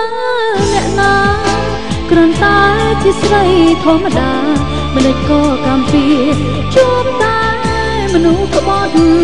ល្អតែដំបងបានបេះដូងក៏ឃើញប្រកបរឿងខ្ញុំអ្នកណាកំណត់ជួបស្នេហ៍ជួយចាត់ខ្លួន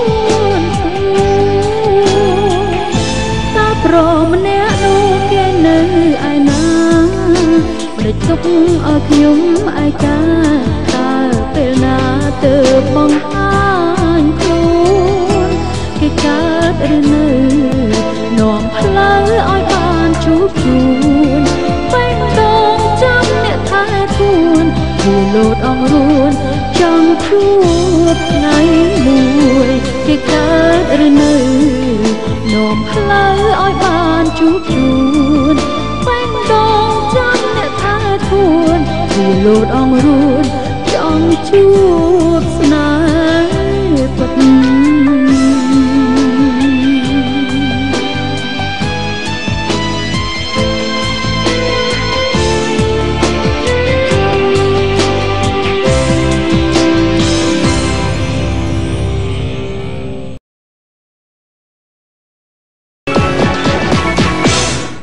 គោរពជំរាបសួរលោកលោកស្រីនិងកញ្ញាជាទីគោរពនិងជាទីមេត្រីសូមបន្តតាមដានទស្សនានៅក្នុងកម្មវិធី Season 21របស់យើងខ្ញុំបន្តទៀតដែលកម្មវិធីរបស់យើងខ្ញុំផ្សាយជូនលោកអ្នកបានទទួលទស្សនារៀងរាល់រាត្រីថ្ងៃប្រហោះវេលាម៉ោង9:30នាទីរហូតដល់ម៉ោង10:30នាទី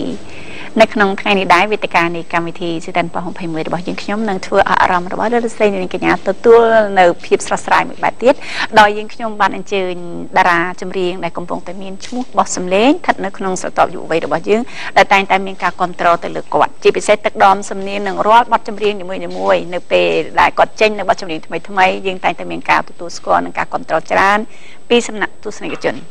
វត្តមានតារាចម្រៀងដែលបានផ្ដល់កិត្តិយសចូលរួមនៅក្នុងកម្មវិធី Season 21របស់យើងខ្ញុំនៅក្នុងរាត្រីនេះគឺកញ្ញាអោកសកុនកញ្ញា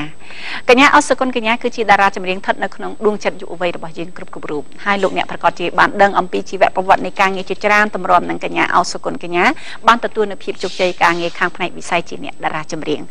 បទពិសោធន៍អស់រយៈកាលជាច្រើនឆ្នាំតម្រាំនឹងកញ្ញាអសុគន្ធកញ្ញាទទួលបាននូវភាពជោគជ័យថាតើកញ្ញាអសុគន្ធកញ្ញាមានការឆ្លងកាត់ដំណាក់កាលណាខ្លះមុនដំបូងនៅក្នុងពេលនេះដែរសូមអញ្ជើញលោកលោកស្រីនាងកញ្ញាទទួលស្ដាប់នៅជីវប្រវត្តិនៃការងារជាច្រើនហើយក៏ដូចជាការងារថ្មីថ្មីរបស់កញ្ញាអសុគន្ធកញ្ញាតាមរយៈកម្មវិធី CTN ប៉ុស21របស់យើងខ្ញុំដូច្នេះសូមអញ្ជើញលោកអ្នកទទួលទស្សនាដូចត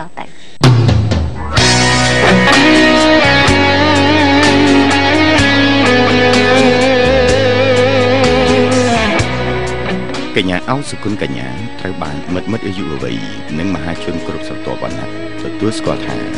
ជាកំពូលតារាចម្រៀងពោពេញទៅដោយទេពកោសល្យទាំងផ្នែកសិល្បៈបុរាណនិងចម្រៀងសម័យប្រចាំប្រទេសកម្ពុជាជាក់ស្ដែងគឺចាប់តាំងពីនាង បានចូលច្រៀងនៅផលិតកម្មហងនេះចាប់ពីឆ្នាំ2007ម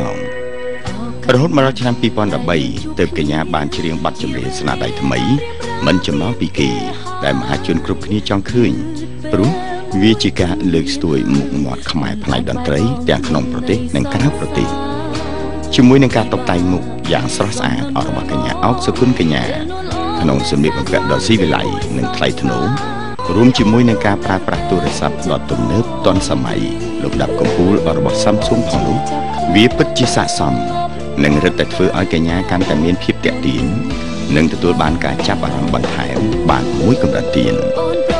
រូបភាពដ៏តាក់ទាញជាច្រើនថ្មីថ្មីនេះត្រូវបានគេចូលចិត្តនិងទទួលបានការចាប់អារម្មណ៍តាមរយៈការបង្ហោះលើទំព័រ Facebook ដោយសារតែតារារូបនេះនិយមចូលចិត្តការថតរូប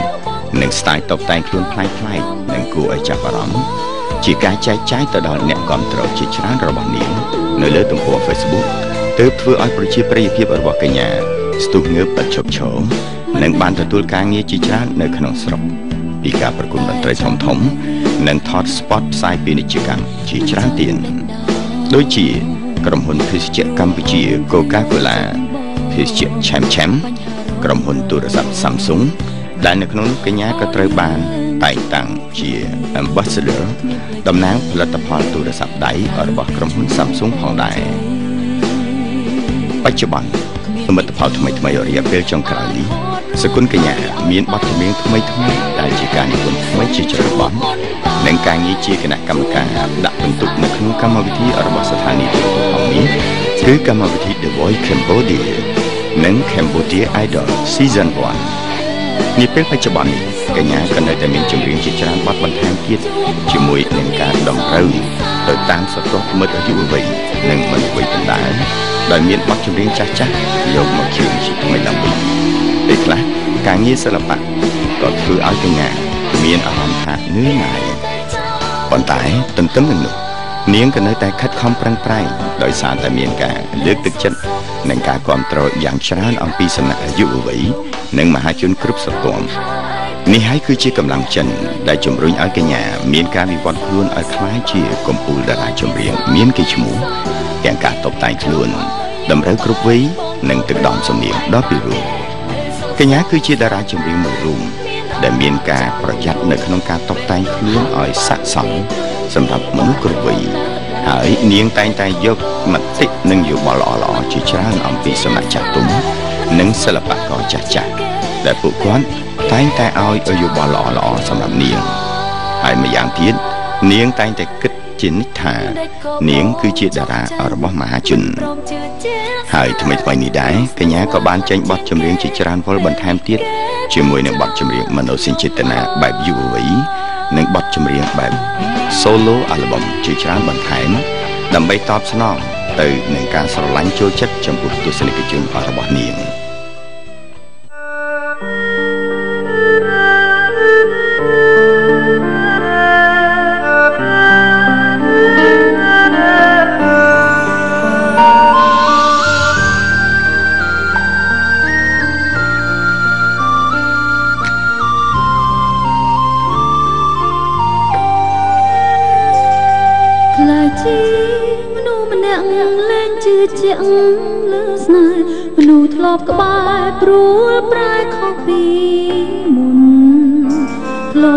ជួបប្រែស្ងាត់បាត់អ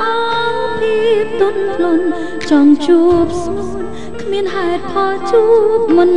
បាន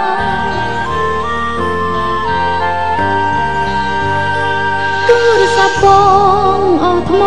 ខលមិនចូលច្រើនថ្ងៃឬក៏ថ្លៃបងរវល់ណាត់អ្នកផ្សេង បត់ស្ដាំឬបត់ឆ្វេងផ្លូវវងវែងទៅមុខក៏ទៅមិនដល់បើទូរស័ព្ទអងថ្មក៏អាចសាកថ្មពេញអចិត្តវិញគ្មានអ្វីស្រោចស្រង់វិញបានតើអចិត្តចង់បន្តឬបញ្ចប់គួរបញ្ចប់ ទួនអូនមិនសូវស្អប់បងតើអត់បងឬអត់ចិត្តប្រាប់ការពិតមិនដល់អូនផងមិនស្មោះត្រង់បងបន្តដើម្បី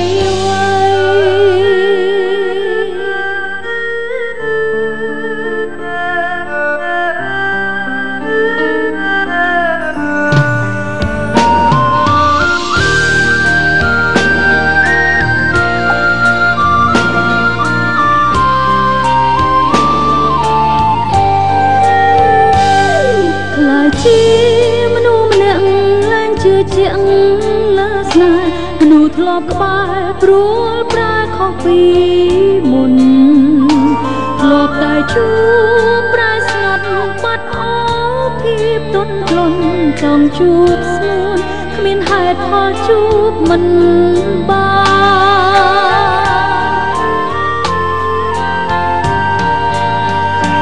ទូរស័ព្ទបងអត់ថ្មខលមិនចូលច្រើនថ្ងៃ ឬក៏ថ្លៃបងរវល់ណាត់អ្នកផ្សេងស្នេហ៍ដើរដ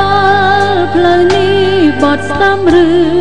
បត់ឆ្វេងផ្លូវវងវែងទៅមុខក៏ទៅមិនបានចាដូចថាយើងតែងតែព្យាយាមរកអ្វីដែលល្អនិងប្លែកជូនដល់ទស្សនិកជនទាំងការរៀបចំបទចម្រៀងធម្មតាបងដូចថាយើងមាន បទចម្រៀងផលិតបទចម្រៀងថ្មីថ្មីប្លែកប្លែកដើម្បីឲ្យគាត់បានស្ដាប់ទៅគាត់ចូលចិត្តទាំងរូបភាពយើងរិះរកនៅអ្វីដែលថ្មីសម្រាប់គាត់ក៏ដូចជាការរៀបចំខ្លួនហើយជាពិសេសគឺសូម្បីតែការរស់នៅក៏ទស្សនិកជនគាត់ចេះតែចង់ដឹងចាចង់ដឹងចង់ឮថាតើតារាគាត់រស់នៅរបៀបម៉េចជីវិតរបស់គាត់សាមញ្ញដូចជាពួកយើងអត់ចាឬក៏យ៉ាងណាគឺដូចគ្នាទេបងអញ្ចឹងខ្ញុំនាងខ្ញុំតែងតែ ព្យាយាមបង្ហាញរាល់ការរស់នៅរាល់ការដើរហើររបស់នាងខ្ញុំនិងការធ្វើកិច្ចការងារទាំងអស់យើងបង្ហាញឲ្យពួកគាត់ឃើញចាយើងអត់មានលក្ខកំបាំងចាបងបងអូនយល់ឃើញយ៉ាងណាដែរចំពោះតម្លៃនៃសិល្បៈហើយមានអ្នកខ្លះក៏តែងតែគិតថា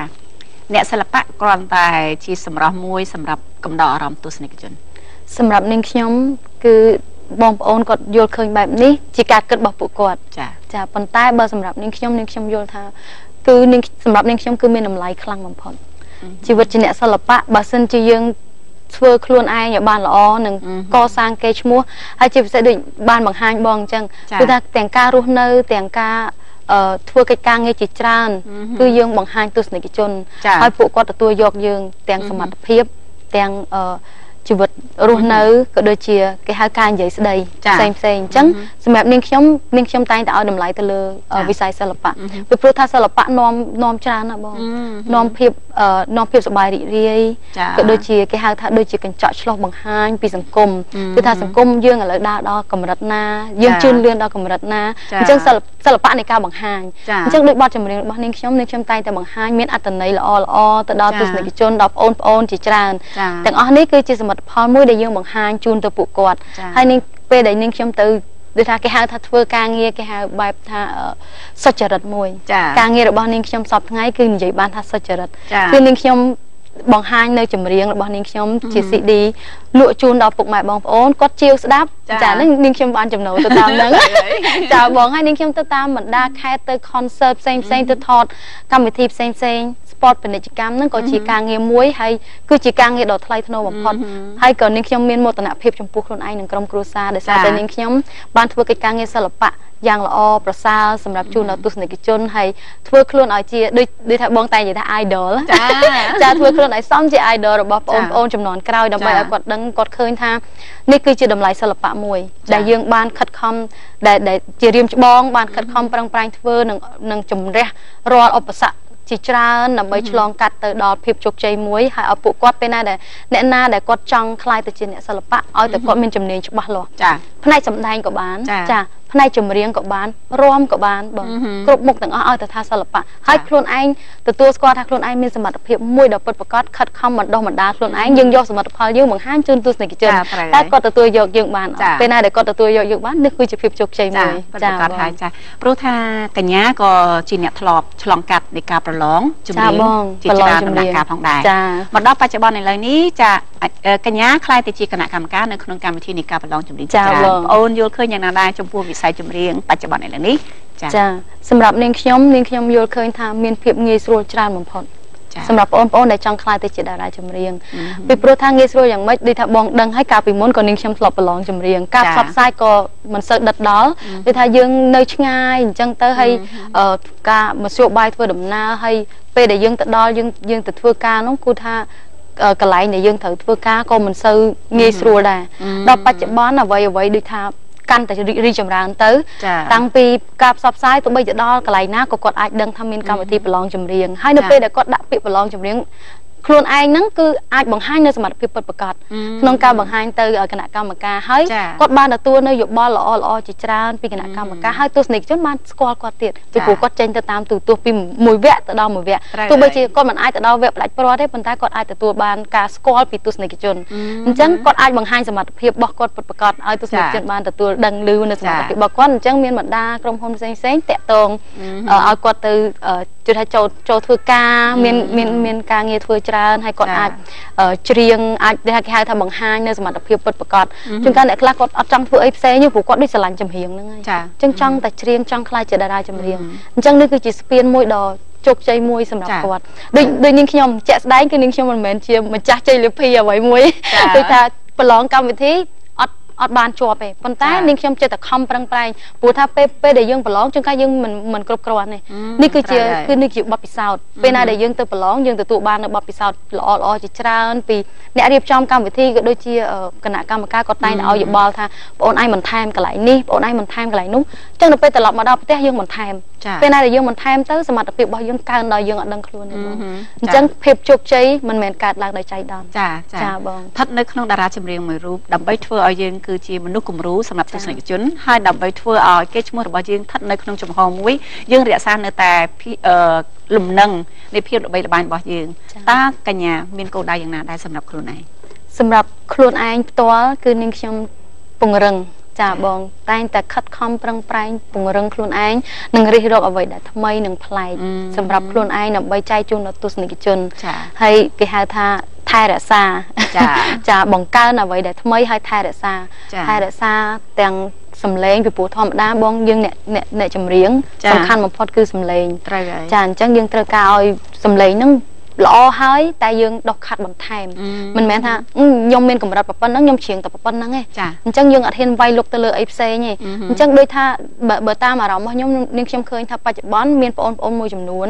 គាត់ដូចរារែកនៅបទចម្រៀងអឺដូចថាគាត់ស្ដាប់បទហ្នឹងមកដូចជាអូយពិបាកអាអត់ហ៊ានច្រៀងទេអឺហឹមគាត់មានសម្លេងមួយប៉ុន្តែគាត់អត់ហ៊ានច្រៀងអញ្ចឹងចាកន្លែងហ្នឹងមួយសម្រាប់នាងខ្ញុំនាងខ្ញុំចូលចិត្តកន្លែងណាដែលពិបាក ចង់ដើរទៅអឺហឹមដើម្បីចង់ដឹងថាខ្លួនឯងមានមានសមត្ថភាពដល់កម្រិតណាអឺហឹមហើយនៅពេលដែលយើងដើរពិបាកបងកន្លែងណាដែលយើងគិតថាវាពិបាកវាពិបាកមែនចាធ្វើដដែលដដែលដដែលតម្រាំតែបានត្រូវដល់ពេលដែលត្រូវហើយគឺយើង យើងជឿជាក់លើខ្លួនឯងពេលដែលយើងបង្ហាញឲ្យទស្សនិកជនគាត់ទទួលស្គាល់យើងចាគឺយើងអស់ចិត្តថាយើងបានខំហើយអញ្ចឹងអឺហឹមអ្វីដែលជាការខិតខំនិងអ្វីដែលជាការរក្សារបស់យើងចាយើងតែងតែព្យាយាមធ្វើឲ្យបានល្អអឺហឹមទើបយើងអាចរក្សាតម្លៃចាបានបងនៅពេលដែលមុននឹងកញ្ញាមកដល់នៅចំណុចភាពល្បីបាញទាំងអស់នេះតែកញ្ញាដែលធ្លាប់មានការខកបំណងដែរទេច្រើនដងដែរបងច្រើនដងដែរធ្លាប់ទទួលចាការខកចិត្តច្រើនខកដងចិត្តណាចាបងខកចិត្តនោះគឺអាចនិយាយបានថា 2ទៅ3ដងប៉ុន្តែមានម្ដង ដែលជាការខកចិត្តខ្លាំងបំផុតអឺហឹមគេហៅអឺកន្លែងហ្នឹងមួយគេហៅថាមុននឹងទទួលបានភាពជោគជ័យគឺបរាជ័យខ្លាំងបំផុតអឺហឹមគឺមានផ្លូវមួយឆ្នាំចុងក្រោយមុនដែលនាងខ្ញុំទទួលបាននូវភាពជោគជ័យនៅក្នុងឆ្នាំ2010ចាចាកាលពីឆ្នាំនិយាយទៅកំឡុងពេលពី2000អឺឆ្នាំ2000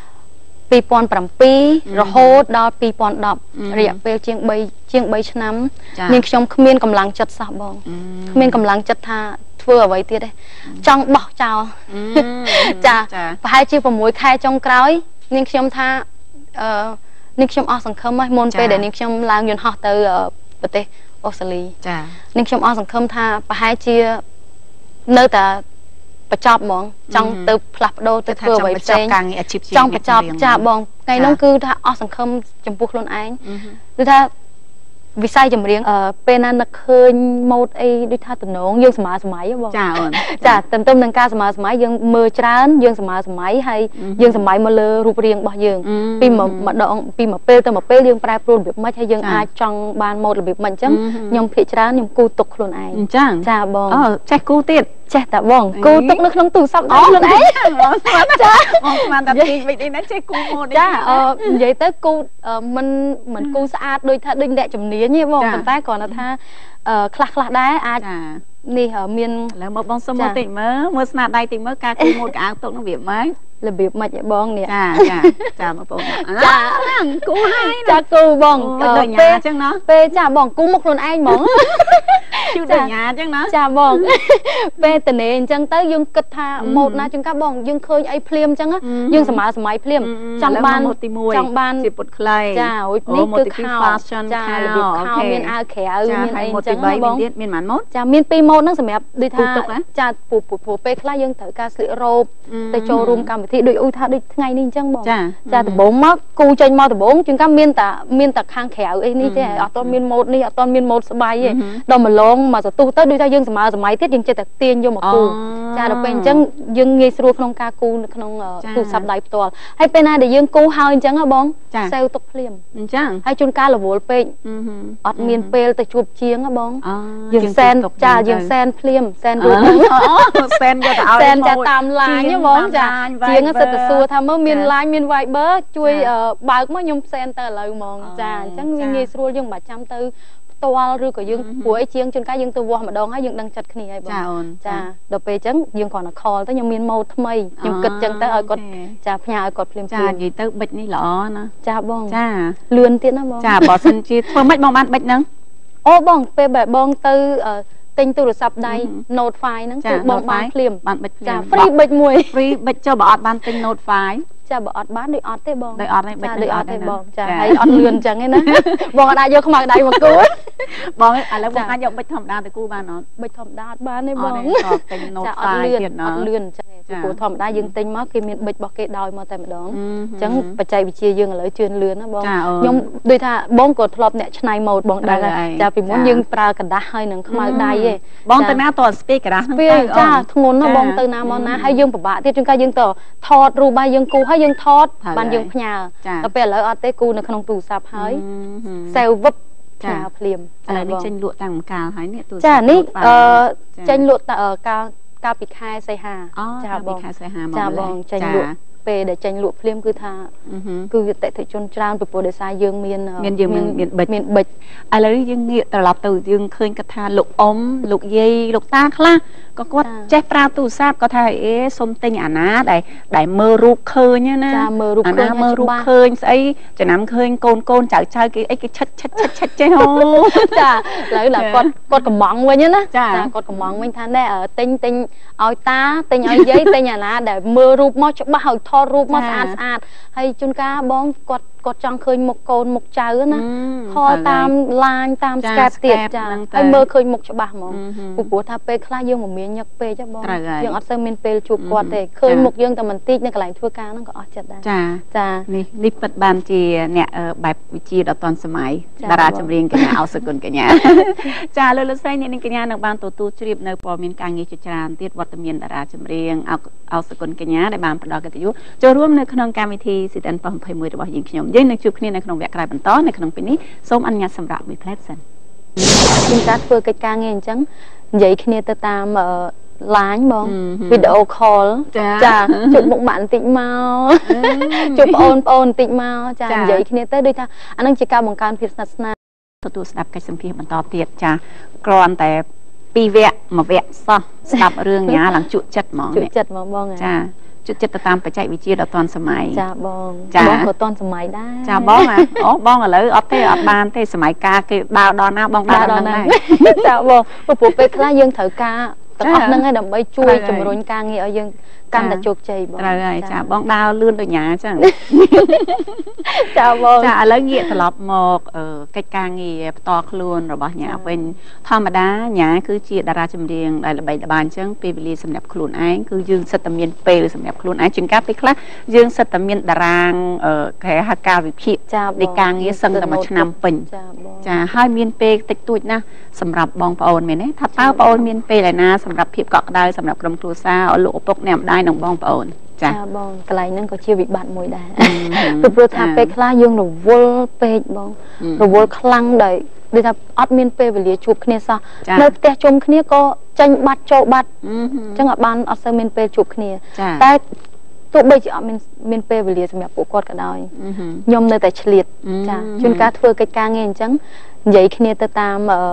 ឡាញបងអឺហឹមវីដេអូខលចាចាជួបមុខម៉ាក់បន្តិចមកអឺជួបប្អូនប្អូនបន្តិចមកចាចានិយាយគ្នាទៅដូចថាអានឹងជាការបង្កើនភាពស្និទ្ធស្នាលអឺដូចថាយើងរវល់ខ្លាំងប៉ុណ្ណាក៏ដោយក៏យើងត្រូវតែឆ្លៀតពេលដែរខ្ញុំទៅដល់ត្រូវបណ្ដាហើយខេត្តណាខ្ញុំទៅថតនៅខេត្តណាទៅ concert នៅខេត្តណាអឺក៏ខ្ញុំជួនកាលត្រូវតែនិយាយគ្នាបានបន្តិចឲ្យឃើញមុខគ្នាថាចានឹកគ្នាខ្លាំងអត់បានអឺជួបគ្នាទេបងចាជួនកាលម៉ាក់ម្ដាយប្អូនអីហ្នឹងសិតតែរៀនហើយម៉ាក់ក៏គាត់ជាប់រវល់ទៅតាមអឺប្រទេសផ្សេងផ្សេងៗធ្វើកិច្ចការងាររបស់គាត់អញ្ចឹងចាយើងត្រូវការ call ចាត្រូវការប្រើការ call វីដេអូអញ្ចឹងទៅជួបចាមុខគ្នាហាយបន្តិចដើម្បីឲ្យអស់ចិត្តអឺហើយចាសម្រាប់អ្នកគ្រប់គ្រងរបស់នាងខ្ញុំក៏ពិសេសដែរបងអឺពីព្រោះទៅគ្រប់ទីកន្លែងអញ្ចឹងខ្ញុំតែងតែចង់ឲ្យពួកគាត់បានដឹងអឺថា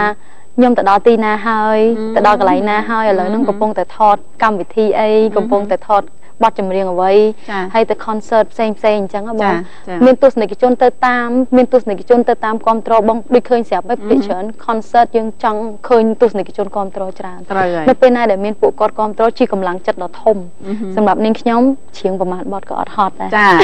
ចាបងចាព្រោះថាបងមើលឃើញថាអ fan នៃការគ្រប់គ្រងរបស់បងប្អូនភាគច្រើនទៅតាមរយៈ Facebook Instagram ឬចាមកបងតាមរយៈអ្វីខ្លះដល់ពេលអឺដែលគាត់ដឹងព័ត៌មានបងប្អូនការប្រគំតន្ត្រីច្រើនចាបងយើងដោយសារតែគ្រប់កម្មវិធីយើងមិនមែនអាច call ទេណាបងចាត្រូវហើយចាគឺយើងមានការបង្ហោះ status អឺអញ្ចឹងខ្ញុំខ្ញុំអឺភាគច្រើនឲ្យតែខ្ញុំចេញទៅអឺ concert នៅខេត្តដូចថាសៀមរាបបាត់ដំបងអឺអញ្ចឹងទៅចាខ្ញុំតែងតែថតរូប មកអឺប៉ុស selfie ខ្លួនឯងចាចាហើយឡើង status មួយអញ្ចឹងទៅចាជួបគ្នានៅខេត្តណាខេត្តណាអញ្ចឹងទៅតាមកម្មវិធីចាអីគាត់ដឹងទៅតាមហ្នឹងដល់ចាគាត់ដឹងគាត់ទៅចូលរួមឡើងច្រើនអឺមួយនេះគឺជាការផ្សព្វផ្សាយរបស់ខ្លួនឯងមួយហ៎បងចាតែពិតត្រូវពួកហើយគាត់ពួកគាត់ចង់ដឹងណាពីព័ត៌មានអឺចង់ដឹងថាតែពួកគាត់ចង់ទៅមើលយើងផ្ទាល់ជាងកាត់ក៏អត់ដឹងទេតែពេលយើងបង្ហោះយើងផ្សព្វផ្សាយទៅតាមអឺ Facebook ហើយនិងអឺ Instagram របស់នាងខ្ញុំទៅអឺគឺគាត់បានដឹងពីព័ត៌មានទាំងអស់នោះគាត់ចាមកចូលរួមអឺចាធ្វើឲ្យមានការ អ៊ូអរនៅក្នុងកម្មវិធីហើយដល់ពេលណាតែឃើញមុខពួកគាត់ហ្នឹងគឺថាសប្បាយចិត្តហ្មងបងអឺធ្វើការលែងហត់ចាត្រូវហើយចាបងចាព្រោះថា fan គឺជាកម្លាំងចិត្តមួយដ៏ធំធេងបំផុតចាបងកាលណាបើសិនជាយើងទៅច្រៀងនៅក្នុងកម្មវិធីអ្វីមួយហើយអត់មានអ្នកទស្សនាសោះចាអារម្មណ៍យើង ក៏លែងក៏ធ្លាក់ទៅតាមក៏ធ្លាក់ទៅតាមហ្នឹងហ្នឹងចាសឹងថាអឺជួនកាលសមត្ថភាពហ្នឹងយើងមានយើងមានច្រើនណាអឺប៉ុន្តែដល់បាក់ទឹកចិត្តទៅចាបាត់អស់លេងចាចាដល់ពេលណាជួនកាលសមត្ថភាពរបស់យើងមានកម្រិតត្រឹម70%ទេគ្រាន់តែឃើញពួកគាត់មកឡើង100ពេញភ្លាមហ្មងអឺជាងថាជ្រៀងថាមកពលមិនដឹងមកពីណាឯចាណាបងអឺដោយសារសំឡេងគ្រប់គ្រងពួកគាត់ហ្នឹងគឺធ្វើឲ្យយើងមានកម្លាំងចិត្តចា ហើយទូរស័ព្ទអងថ្មក៏អាចសាកថ្មពេញអស់ចិត្តវិញគ្មានអ្វីស្រោចស្រង់វិញបានតើអស់ចិត្តឬអស់ថ្មចង់បន្តឬបញ្ចប់គួរបញ្ចប់ទាន់អូនមិនសូវស្អប់បងតើអស់ថ្មឬអស់ចិត្ត មិនស្មោះត្រង់បងបន្តដើម្បីໄວតើអស់ចិត្តឬអត់ថ្មចង់បន្តឬបញ្ចប់ គួរបញ្ចប់ទាន់អូនមិនសូវស្អប់បង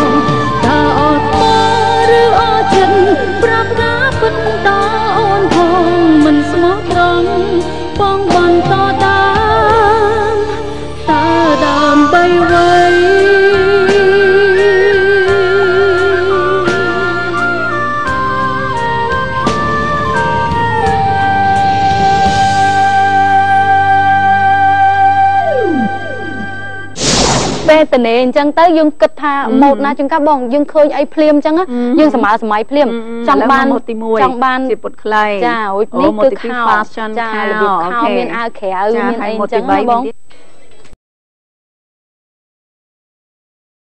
កម្មវិធីស៊ីតាន់ប៉ោះ21របស់យើងខ្ញុំនៅក្នុងរាត្រីនេះចាមុននឹងបន្តិចលោកលោកស្រីនាងកញ្ញាក៏បានទទួលជ្រាបនៅប្រវត្តិការងារជាច្រើនដែលវត្តមានតារាចម្រៀងកញ្ញាអុកសុគន្ធកញ្ញាដែលបានផ្ដល់កិត្តិយសចូលរួមនៅក្នុងកម្មវិធីស៊ីតាន់ប៉ោះ21របស់យើងខ្ញុំជាលើកទី2ហើយនៅក្នុងនោះលោកលោកស្រីនាងកញ្ញាក៏បានទទួលស្ដាប់នៅបទចម្រៀងដ៏ពិរោះដែលជាបទចេញថ្មីរបស់កញ្ញាអុកសុគន្ធកញ្ញាតាមរយៈបទ អស់ចិត្តអស់ថ្មដូច្នេះសូមស្វាគមន៍វត្តមានកញ្ញាអុកសុគន្ធកញ្ញាចាជំរាបសួរសួរបងសុខសប្បាយអូនសប្បាយបងជួបគ្នាសាជាថ្មីចាមកយើងបែកគ្នានៅក្នុងកម្មវិធីស៊ីតាន់21ប្រហែលជាច្រើនឆ្នាំដែយូររមែនតើណាបងចាចូល5 6ឆ្នាំនឹកបងខ្លាំងណាញ៉ានឹកបងតែដល់ជួបចាបងក្រាងឯង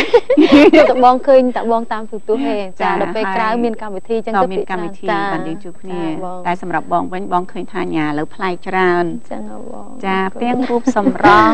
អឺទាំងការតុបតែងខ្លួន ទាំងម៉ូដសក់អ្វីៗគ្រប់យ៉ាងគឺប្លែកទាំងអស់ចាចាប្រហែលជាបែកពីបងអស់រយៈ អស់រយៈកាលជាច្រើនឆ្នាំប្រហែលជាទៅហាត់រៀន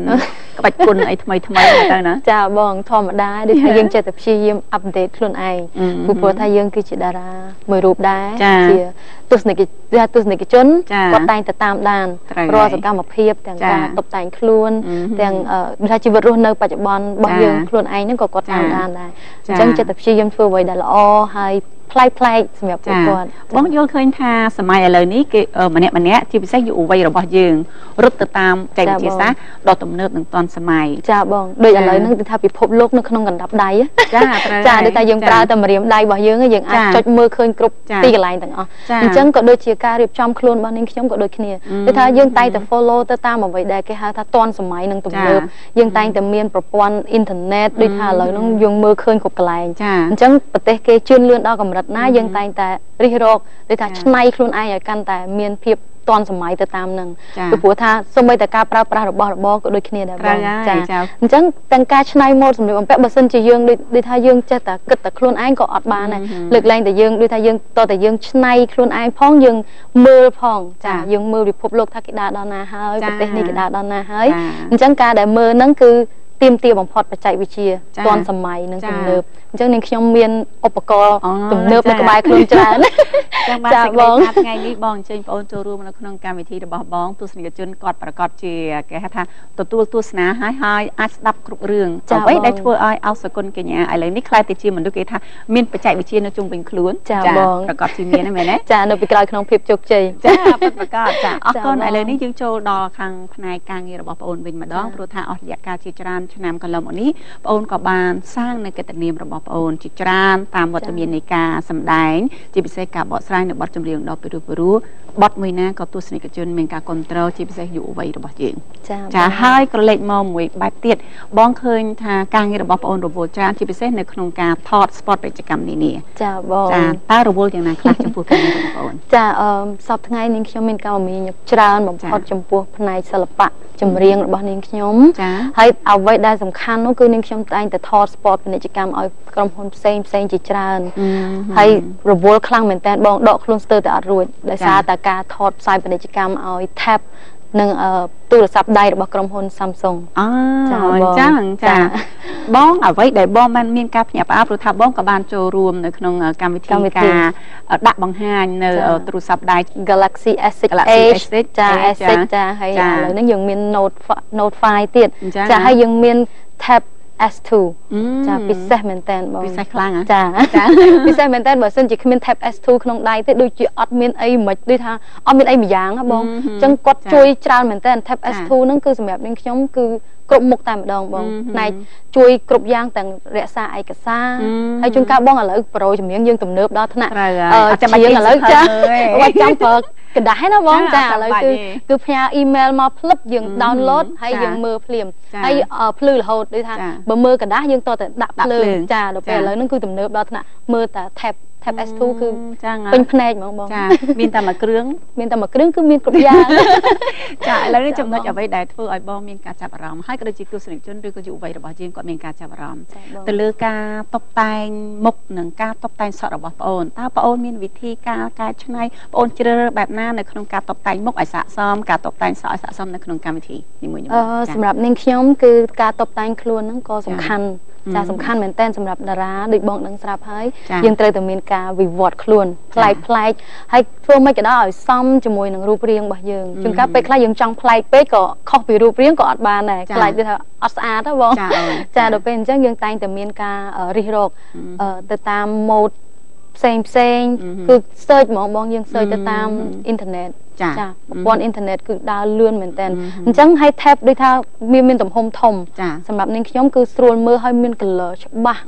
ហើយស្រួលក្នុងការដូចថាពេលណាយើងឃើញម៉ូដណាស្អាតយើងឃើញ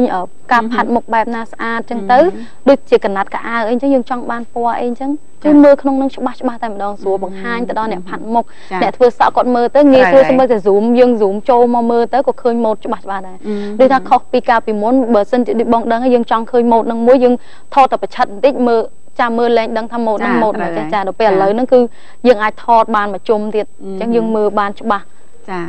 អញ្ចឹងងាយស្រួលក្នុងការបង្ហាញទៅដល់ជាចាព្រោះថាយើងជាអ្នកចម្រៀងយើងត្រូវការម៉ូដសក់អ្វីដែលប្លែកការតុបតែងមុខយ៉ាងម៉េចឲ្យស័ក្តិសមទៅក្នុងកម្មវិធីនោះចាបងចាយើងមាន tab តែមួយ search បងគឺទុកជាឯកសារសម្រាប់យើងចាបងហើយបើសិនជាអ៊ីនធឺណិត slow ហ្នឹងក៏ពិបាកដែរពេលណាដែលយើងប្រើប្រាស់ទៅយើងថាំចិត្តណាបងចាបងយើងចិត្តតែចង់ឃើញអាម៉ូដហ្នឹងអញ្ចឹងចុចមើលវឹបច្បាស់ហ្មងហើយអ៊ីនធឺណិតដើរលឿនអញ្ចឹងពេលណាដែលវាអត់ថាំចិត្តធ្វើឲ្យយើងអត់ស្មុគស្មាញក្នុងការប្រើប្រាស់ហើយយើងចង់ទៅធ្វើអ្វីមួយក៏ងាយស្រួលដូចថាតែចិត្តយើងតិចហើយទៅធ្វើអីក៏បានដែរបងចាមួយវិញទៀតបងក៏បានឃើញមានការប្លែកច្រើនទៅលើម៉ូដសម្លៀកបំពាក់ម៉ូដចាបងចេះគូម៉ូដសម្លៀកបំពាក់អត់អូសម្រាប់មិន មិនជាអ្វីដែលដូចថាមិនពិសេសប្រហែលទេសម្រាប់ការច្នៃម៉ូដសម្លៀកបំពាក់គ្រាន់តែថាចាឥឡូវងាកត្រឡប់មកវិធីនៃការថែទាំសម្រស់របស់ញ៉ាវិញព្រោះថាបងយល់ឃើញថាមួយរយៈកាលក្រោយៗនេះឃើញអញ្ញាឥឡូវមានសម្រស់ស្រស់ស្អាតមើលទៅផូរផងគេហៅថាហាក់បីដូចជាបុផារីកហើយមិនចេះរយចាបងអរគុណច្រើនចាបងអឺពាក់ព័ន្ធនឹងសម្រស់វិញចាគឺ មិនសូវមានអឺពេលវេលាថែច្រើនប្រហែលទេបងចាគ្រាន់តែថាអ្វីដែលសំខាន់យើងញ៉ាំអាហារអឺការទទួលទានអាហារហ្នឹងក៏ជាអឺប្រយោជន៍មួយអឺសម្រាប់សុខភាពរបស់យើងធម្មចាតាបើយើងបើយើងញ៉ាំរបស់មិនសូវល្អ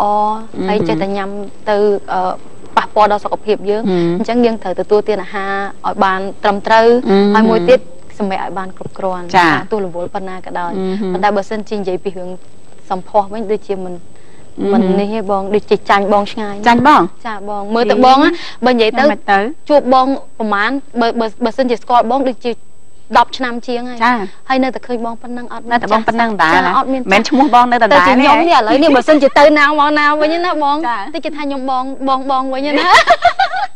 មែនចាទេបងគិតថាមកពីឈ្មោះបងនៅដដែលទេបងគិចាតទៅអត់ទេមកពីសម្ផស្សតែម្ដងបចាងសម្ផស្សបងស្អាតនិយាយទៅបើបើអ្នកផ្ទះខ្ញុំវិញអឺ ទាំងប្អូនទាំងម៉ាក់អីទៅសើបងថាចាបងស្អាតអឺហើយបងប្អូនខ្ញុំវិញណា គឺចាបងគឺជា idol របស់គាត់ហ្មងចឹងអូហើយផ្ដាំខ្ញុំទៀតថ្ងៃនេះណាចាចាដាច់ខាតហ្មងត្រូវទៅថតរូបថតរូប selfie ហ៎ជាមួយបងអូអញ្ចឹងហ៎ហើយសុំហត្ថលេខាមួយបានអត់បងបានឥឡូវបានបងសាក់ចេះមិនម៉ាតិត់ចណាញ៉ាសរសើរបងឲ្យថតរូបជុំគ្នាបដ ாய் ឲ្យទេបងណោះសុំមួយណាចាបងឥឡូវសុំថតរូប selfie ឲ្យប្អូនក្រុមគ្រួសារចាក្រុមគ្រួសារឲ្យមកបានមើលមើលមិនដែរបានជួបបងហើយអត់បានព្រោះថាយើងសម័យឥឡូវសម័យ selfie ចា selfie ហ៎បងចា selfie ណា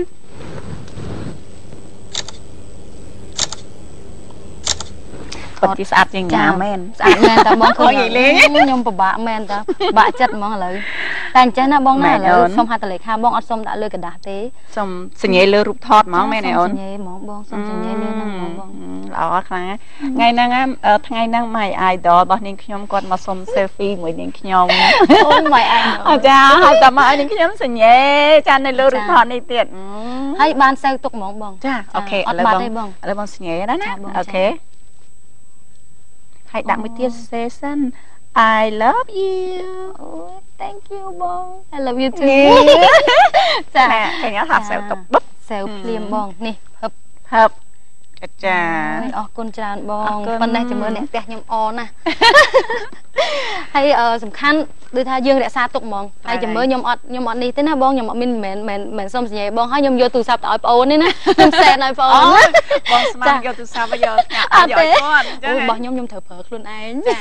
ចាអញ្ចឹងខ្ញុំផ្ញើទៅឲ្យគាត់ទោះបីជាគាត់នៅណាក៏ផ្ញើដែរចាខ្លាច អឺអត់បានអត់បានទទួលហត្ថលេខាបងផ្ទាល់ចាអរគុណឲ្យប្រាំផ្ញើឲ្យគាត់ផងថាបងអរគុណដែលបានគ្រប់គ្រងបងចាបងខ្ញុំក៏គ្រប់ត្របងដែរចាឲ្យបងក៏គ្រប់គ្រងញ៉ាដូចគ្នាអរគុណច្រើនបងមាននៅតកែអមណាចា តបងកែហាងកាត់សម្លៀកបំពាក់អមណាគាត់ថាអូចាអូថ្ងៃហ្នឹង my idol ខ្ញុំមកអត់ណោះអញ្ចឹងហ៎បងបတ်ចម្រៀងអឺសុំម្ដងទៀតមើលសុំម្ដងទៀតមើលឥឡូវចេះអញ្ចឹងកំណាច់ហ្នឹងឥឡូវអឺបងគិតថាគាត់កំពុងតែទស្សនាហើយចាតកែអមហាងអូកាត់សម្លៀកបំពាក់ហាងកាត់សម្លៀកបំពាក់សុំឲ្យញ៉ាជាងគោកឲ្យផ្ញើឲ្យតកែអមផងបានថាបងហើយផ្ញើជូនទស្សនិកជនណាចាសុំម្ដងបងចាទៀតមើលយកឡៃរ៉ូហ្វ្រាំងហើយក៏យកកន្លែងអឺអឺអឺទី1ទី2 clear ទី1ទី2យកពីគិតថាកន្លែងណាប្រួសយកកន្លែងណាណាអូខេឥឡូវខ្ញុំច្រៀងទៅតាមអឺចាអារម្មណ៍ណាអត់ទៅទៀតចាអូខេហោះតបងរាប់ចាបងអូខេ1 2 3ចាសុំម្ដងទៀតមើលទៅមើលពីឆ្វេងមើលម្ដងទៀតមើលទៅមើលពីស្ដាំសុំម្ដងទៀតមើលទៅមើលមុខចំឲ្យសុំម្ដងទៀតមើលក៏លាន់មាត់ថាអ៊ូយទ្រូងដឹបដឹបអ៊ូយទ្រូងដឹបដឹបអ៊ូយ អរគុណដល់ទៅពេលគោកគោកចឹងចង់ភ័យប្រហែលជាចាអ្នកតកែអមគាត់ថាចាប្រហែលជាគាត់ត្រូវផ្ញើជូនទ្រូងណាចាបងសូមផ្ញើជូនតកែតកែអមនឹងជាពិសេសតែម្ដងគឺថាហ្វេនដឹងថាបងនិយាយមិនដឹងថាហ្វេនខ្លាំងហ្មងចាអញ្ចឹងផ្ញើជូនស្ដាប់កំសាន្តហើយអឺក៏ជូនដល់ទស្សនិកជនដែលតែងតែស្រឡាញ់និងចូលចិត្តនាងខ្ញុំផងដែរចាចាចា ឥឡូវនេះវត្តមានកញ្ញាអោសុគន្ធកញ្ញាបានបង្ហាញតាមរយៈកម្មវិធីស៊ីតានពង21របស់យើងខ្ញុំជាពិសេសពំនាំមកនៅអ្វីដែលជាបច្ចេកវិទ្យាមួយដ៏ទាន់សម័យនិងទំនើបចាជូនដល់ទស្សនិកជននៅក្នុងថ្ងៃនេះចាហើយភាពអស្ចារ្យការងារជាច្រើនទៀតដែលលោកលោកស្រីអ្នកនាងកញ្ញាបានឃើញនេះគឺជាសមិទ្ធផលថ្មីថ្មីតារាចម្រៀងរបស់យើងហើយសង្ឃឹមថាបងប្អូនយុវវ័យទាំងអស់គ្នានឹងបង្ហាញអំពីសមត្ថភាពរបស់ខ្លួនឯងត្រូវតែក្លាហានអ្វីដែលខ្លួនឯងមានជាពិសេសយើងត្រូវគិតថាបើសិនជាយើងស្រឡាញ់នៅជំនាញណាមួយយើងស្រឡាញ់នៅជំនាញជាតារាចម្រៀងថាតើគូណាតែយើងប្រតិបត្តិខ្លួនរបស់យើងដោយរបៀបណាធ្វើយ៉ាងណាឲ្យយើងស្ថិតនៅក្នុងគោលដៅមួយអ្វីដែលយើងចង់បានជួបគ្នានៅក្នុងវគ្គក្រោយបន្តទៀតនៅក្នុងពេលនេះសូមអនុញ្ញាតសម្រាប់មីផ្លែសិនយើងខិតខំប្រឹងប្រែងកន្លែងនេះគេអត់សូវចូលចិត្តយើងកែតម្រូវចាកន្លែងនោះគាត់ចូលចិត្តយើងបន្ថែមទៅលើនឹងដើម្បីឲ្យពួកគាត់កាន់តែមានអារម្មណ៍ទទួលយកយើងបាន ចម្រៀងគឺកញ្ញាអោសគុណកញ្ញាចានៅក្នុងពេលនេះសូមបន្តទទួលស្ដាប់កិច្ចសម្ភាសបន្តទៀតអំបញ្ញមិញនេះយើងសម្ភាសសិស្សសឹងតែជារឿងរ៉ាវការងារថ្មីថ្មីរបស់បងអូនស្រីហើយសប្បាយបានថត selfie មួយគ្នាមែនតាបងញ៉ាភ្លៀងចាព្រោះថាសម័យឥឡូវគឺតាន់សម័យត្រង់ថាសំបីតាបងបើកហាងកាត់ដេរអមរចនាម៉ូដសម្លៀកបំពាក់ចាបងនៅពេលដែលអតិថិជនមកហាងរបស់បងភាគច្រើននៅពេលដែលគាត់មានលេខរបស់គាត់ហើយនៅក្នុងហាងរបស់បងគាត់តែងថាអូបងចិន្តាខ្ញុំចង់កាត់ម៉ូដនេះគាត់សែនមកភ្លាមតាមតាម Viber តាម Skype អីភ្លាមតែម្ដងចាអញ្ចឹងយើងងាយស្រួលក្នុងការប្រើប្រាស់អញ្ចឹងមិនថាបច្ចេកវិទ្យាគឺនាំនាំមុខនាំយើងឲ្យទទួលបានភាពជោគជ័យអញ្ចឹងពេលខ្លះវាកាត់បន្ថយការជិះជិះសាំងឡានអស់ច្រើនណាបងចាចាយើងជិះឡានទៅពីមួយកន្លែងទៅមួយកន្លែងក៏ឆ្ងាយដែរដល់ពេលឥឡូវយើងចុច សែនឲ្យគ្នាបន្តិចគឺយើងទទួលបានព័ត៌មានឥឡូវហ្នឹងយើងអាច record សំឡេងទៀតណាបងបាច់ចាំ call ទេបាច់ចាំ call ទេចា record សំឡេងផ្ញើសំឡេងផ្ញើភ្លាមភ្លាមឲ្យមួយវិញទៀតឥឡូវនេះយើងកាត់បន្ថយបើសិនជាមានរៀបចំពិធីមង្គលការពិធីជប់លៀងកម្មវិធី birthday អីចឹងអត់ចាំបាច់យកសម្បត្តិឲ្យគេថាអត់អីទេថតមកផ្ញើមកតាម Facebook ក៏បានដែរចាបងអញ្ចឹងចាំយើងផ្ញើចំណងដៃតាម Facebook វិញអត់ទេចំណងដៃមែនតើអត់ទេមែនតើបងមនុស្សអត់មានអត់មានណា scan មនុស្សផ្ញើទៅ ចំណងដៃតែការប៉ັດប្រកបទៅឲ្យពពួកយើងធម្មតាយើងភ្លាមភ្លាមយើងសែនតាម Facebook តាម LINE ភ្លាមភ្លាមទៅដើម្បីឲ្យទទួលដំណឹងថាយើងបានផ្ដល់ដំណឹងឥឡូវហ្នឹងមានកម្មវិធី birthday កម្មវិធីអាពាហ៍ពិពាហ៍អីអញ្ចឹងចាដល់ពេលអ្នក ដែលថាអ្នកគាត់រវល់អញ្ចឹងណាគាត់នៅខេត្តឆ្ងាយឆ្ងាយអញ្ចឹងទៅគាត់អាចដល់ថ្ងៃមកចូលរួមតែម្ដងចាបងឥឡូវយើងងាកត្រឡប់មកផ្នែកការងារបន្ថែមទៀតអឺការសម្ដែងរបស់ប្អូនមកដល់ឆ្នាំនេះយើងសាងកិត្តិនាមមកអស់រយៈកាលជាច្រើនឆ្នាំតម្រាំនឹងគេស្គាល់ពីស្នាដៃរបស់ប្អូនចាបងប្អូនធ្វើការប្រៀបធៀបកាលពីមុនមកដល់ឥឡូវវាខុសគ្នាយ៉ាងណាខ្លះចាបងអឺបើនិយាយពីកាលពីមុននឹងមកដល់បច្ចុប្បន្នគឺមានការខុសគ្នាខ្លាំងបំផុតចាដោយសារតែ ធម្មតាបងសមិទ្ធផលមួយបើសិនជាយើងចង់ឲ្យទស្សនិកជនទទួលស្គាល់តើតែយើងមានការ ខិតខំប្រឹងប្រែងដោយខ្លួនឯងហើយរឹងមាំបំផុតពេលណាដែលយើងរឹងមាំប្រកាន់គោលការណ៍ខ្លួនឯងថាយើងមិនបោះបង់ចោលយើងនឹងខិតខំប្រឹងប្រែងកន្លែងនេះគេអត់សូវចូលចិត្តយើងកែតម្រូវកន្លែងនោះគាត់ចូលចិត្តយើងបន្ថែមទៅលើនឹងដើម្បីឲ្យពួកគាត់កាន់តែមានអារម្មណ៍ទទួលយកយើងបាន តាំងពីដំបូងដូចកាលពេលជួបបងលើកមុនណាខ្ញុំតែងតែនិយាយប្រាប់បងបងតែងតែនិយាយថាបងអូនមិនដែរការងារអញ្ចឹងដូចគ្នាបងឥឡូវមកដល់ថ្ងៃនេះខ្ញុំសប្បាយចិត្តដែលបានមកជួបបងនាំនៅភាពគេហៅថាភាព ជោគជ័យមួយក៏ដូចជាគេថាការវិវត្តខ្លួន ការវិវត្តខ្លួនទាំងផ្នែកសិល្បៈរបស់នាងខ្ញុំនិងការរស់នៅជីវភាពរស់នៅបច្ច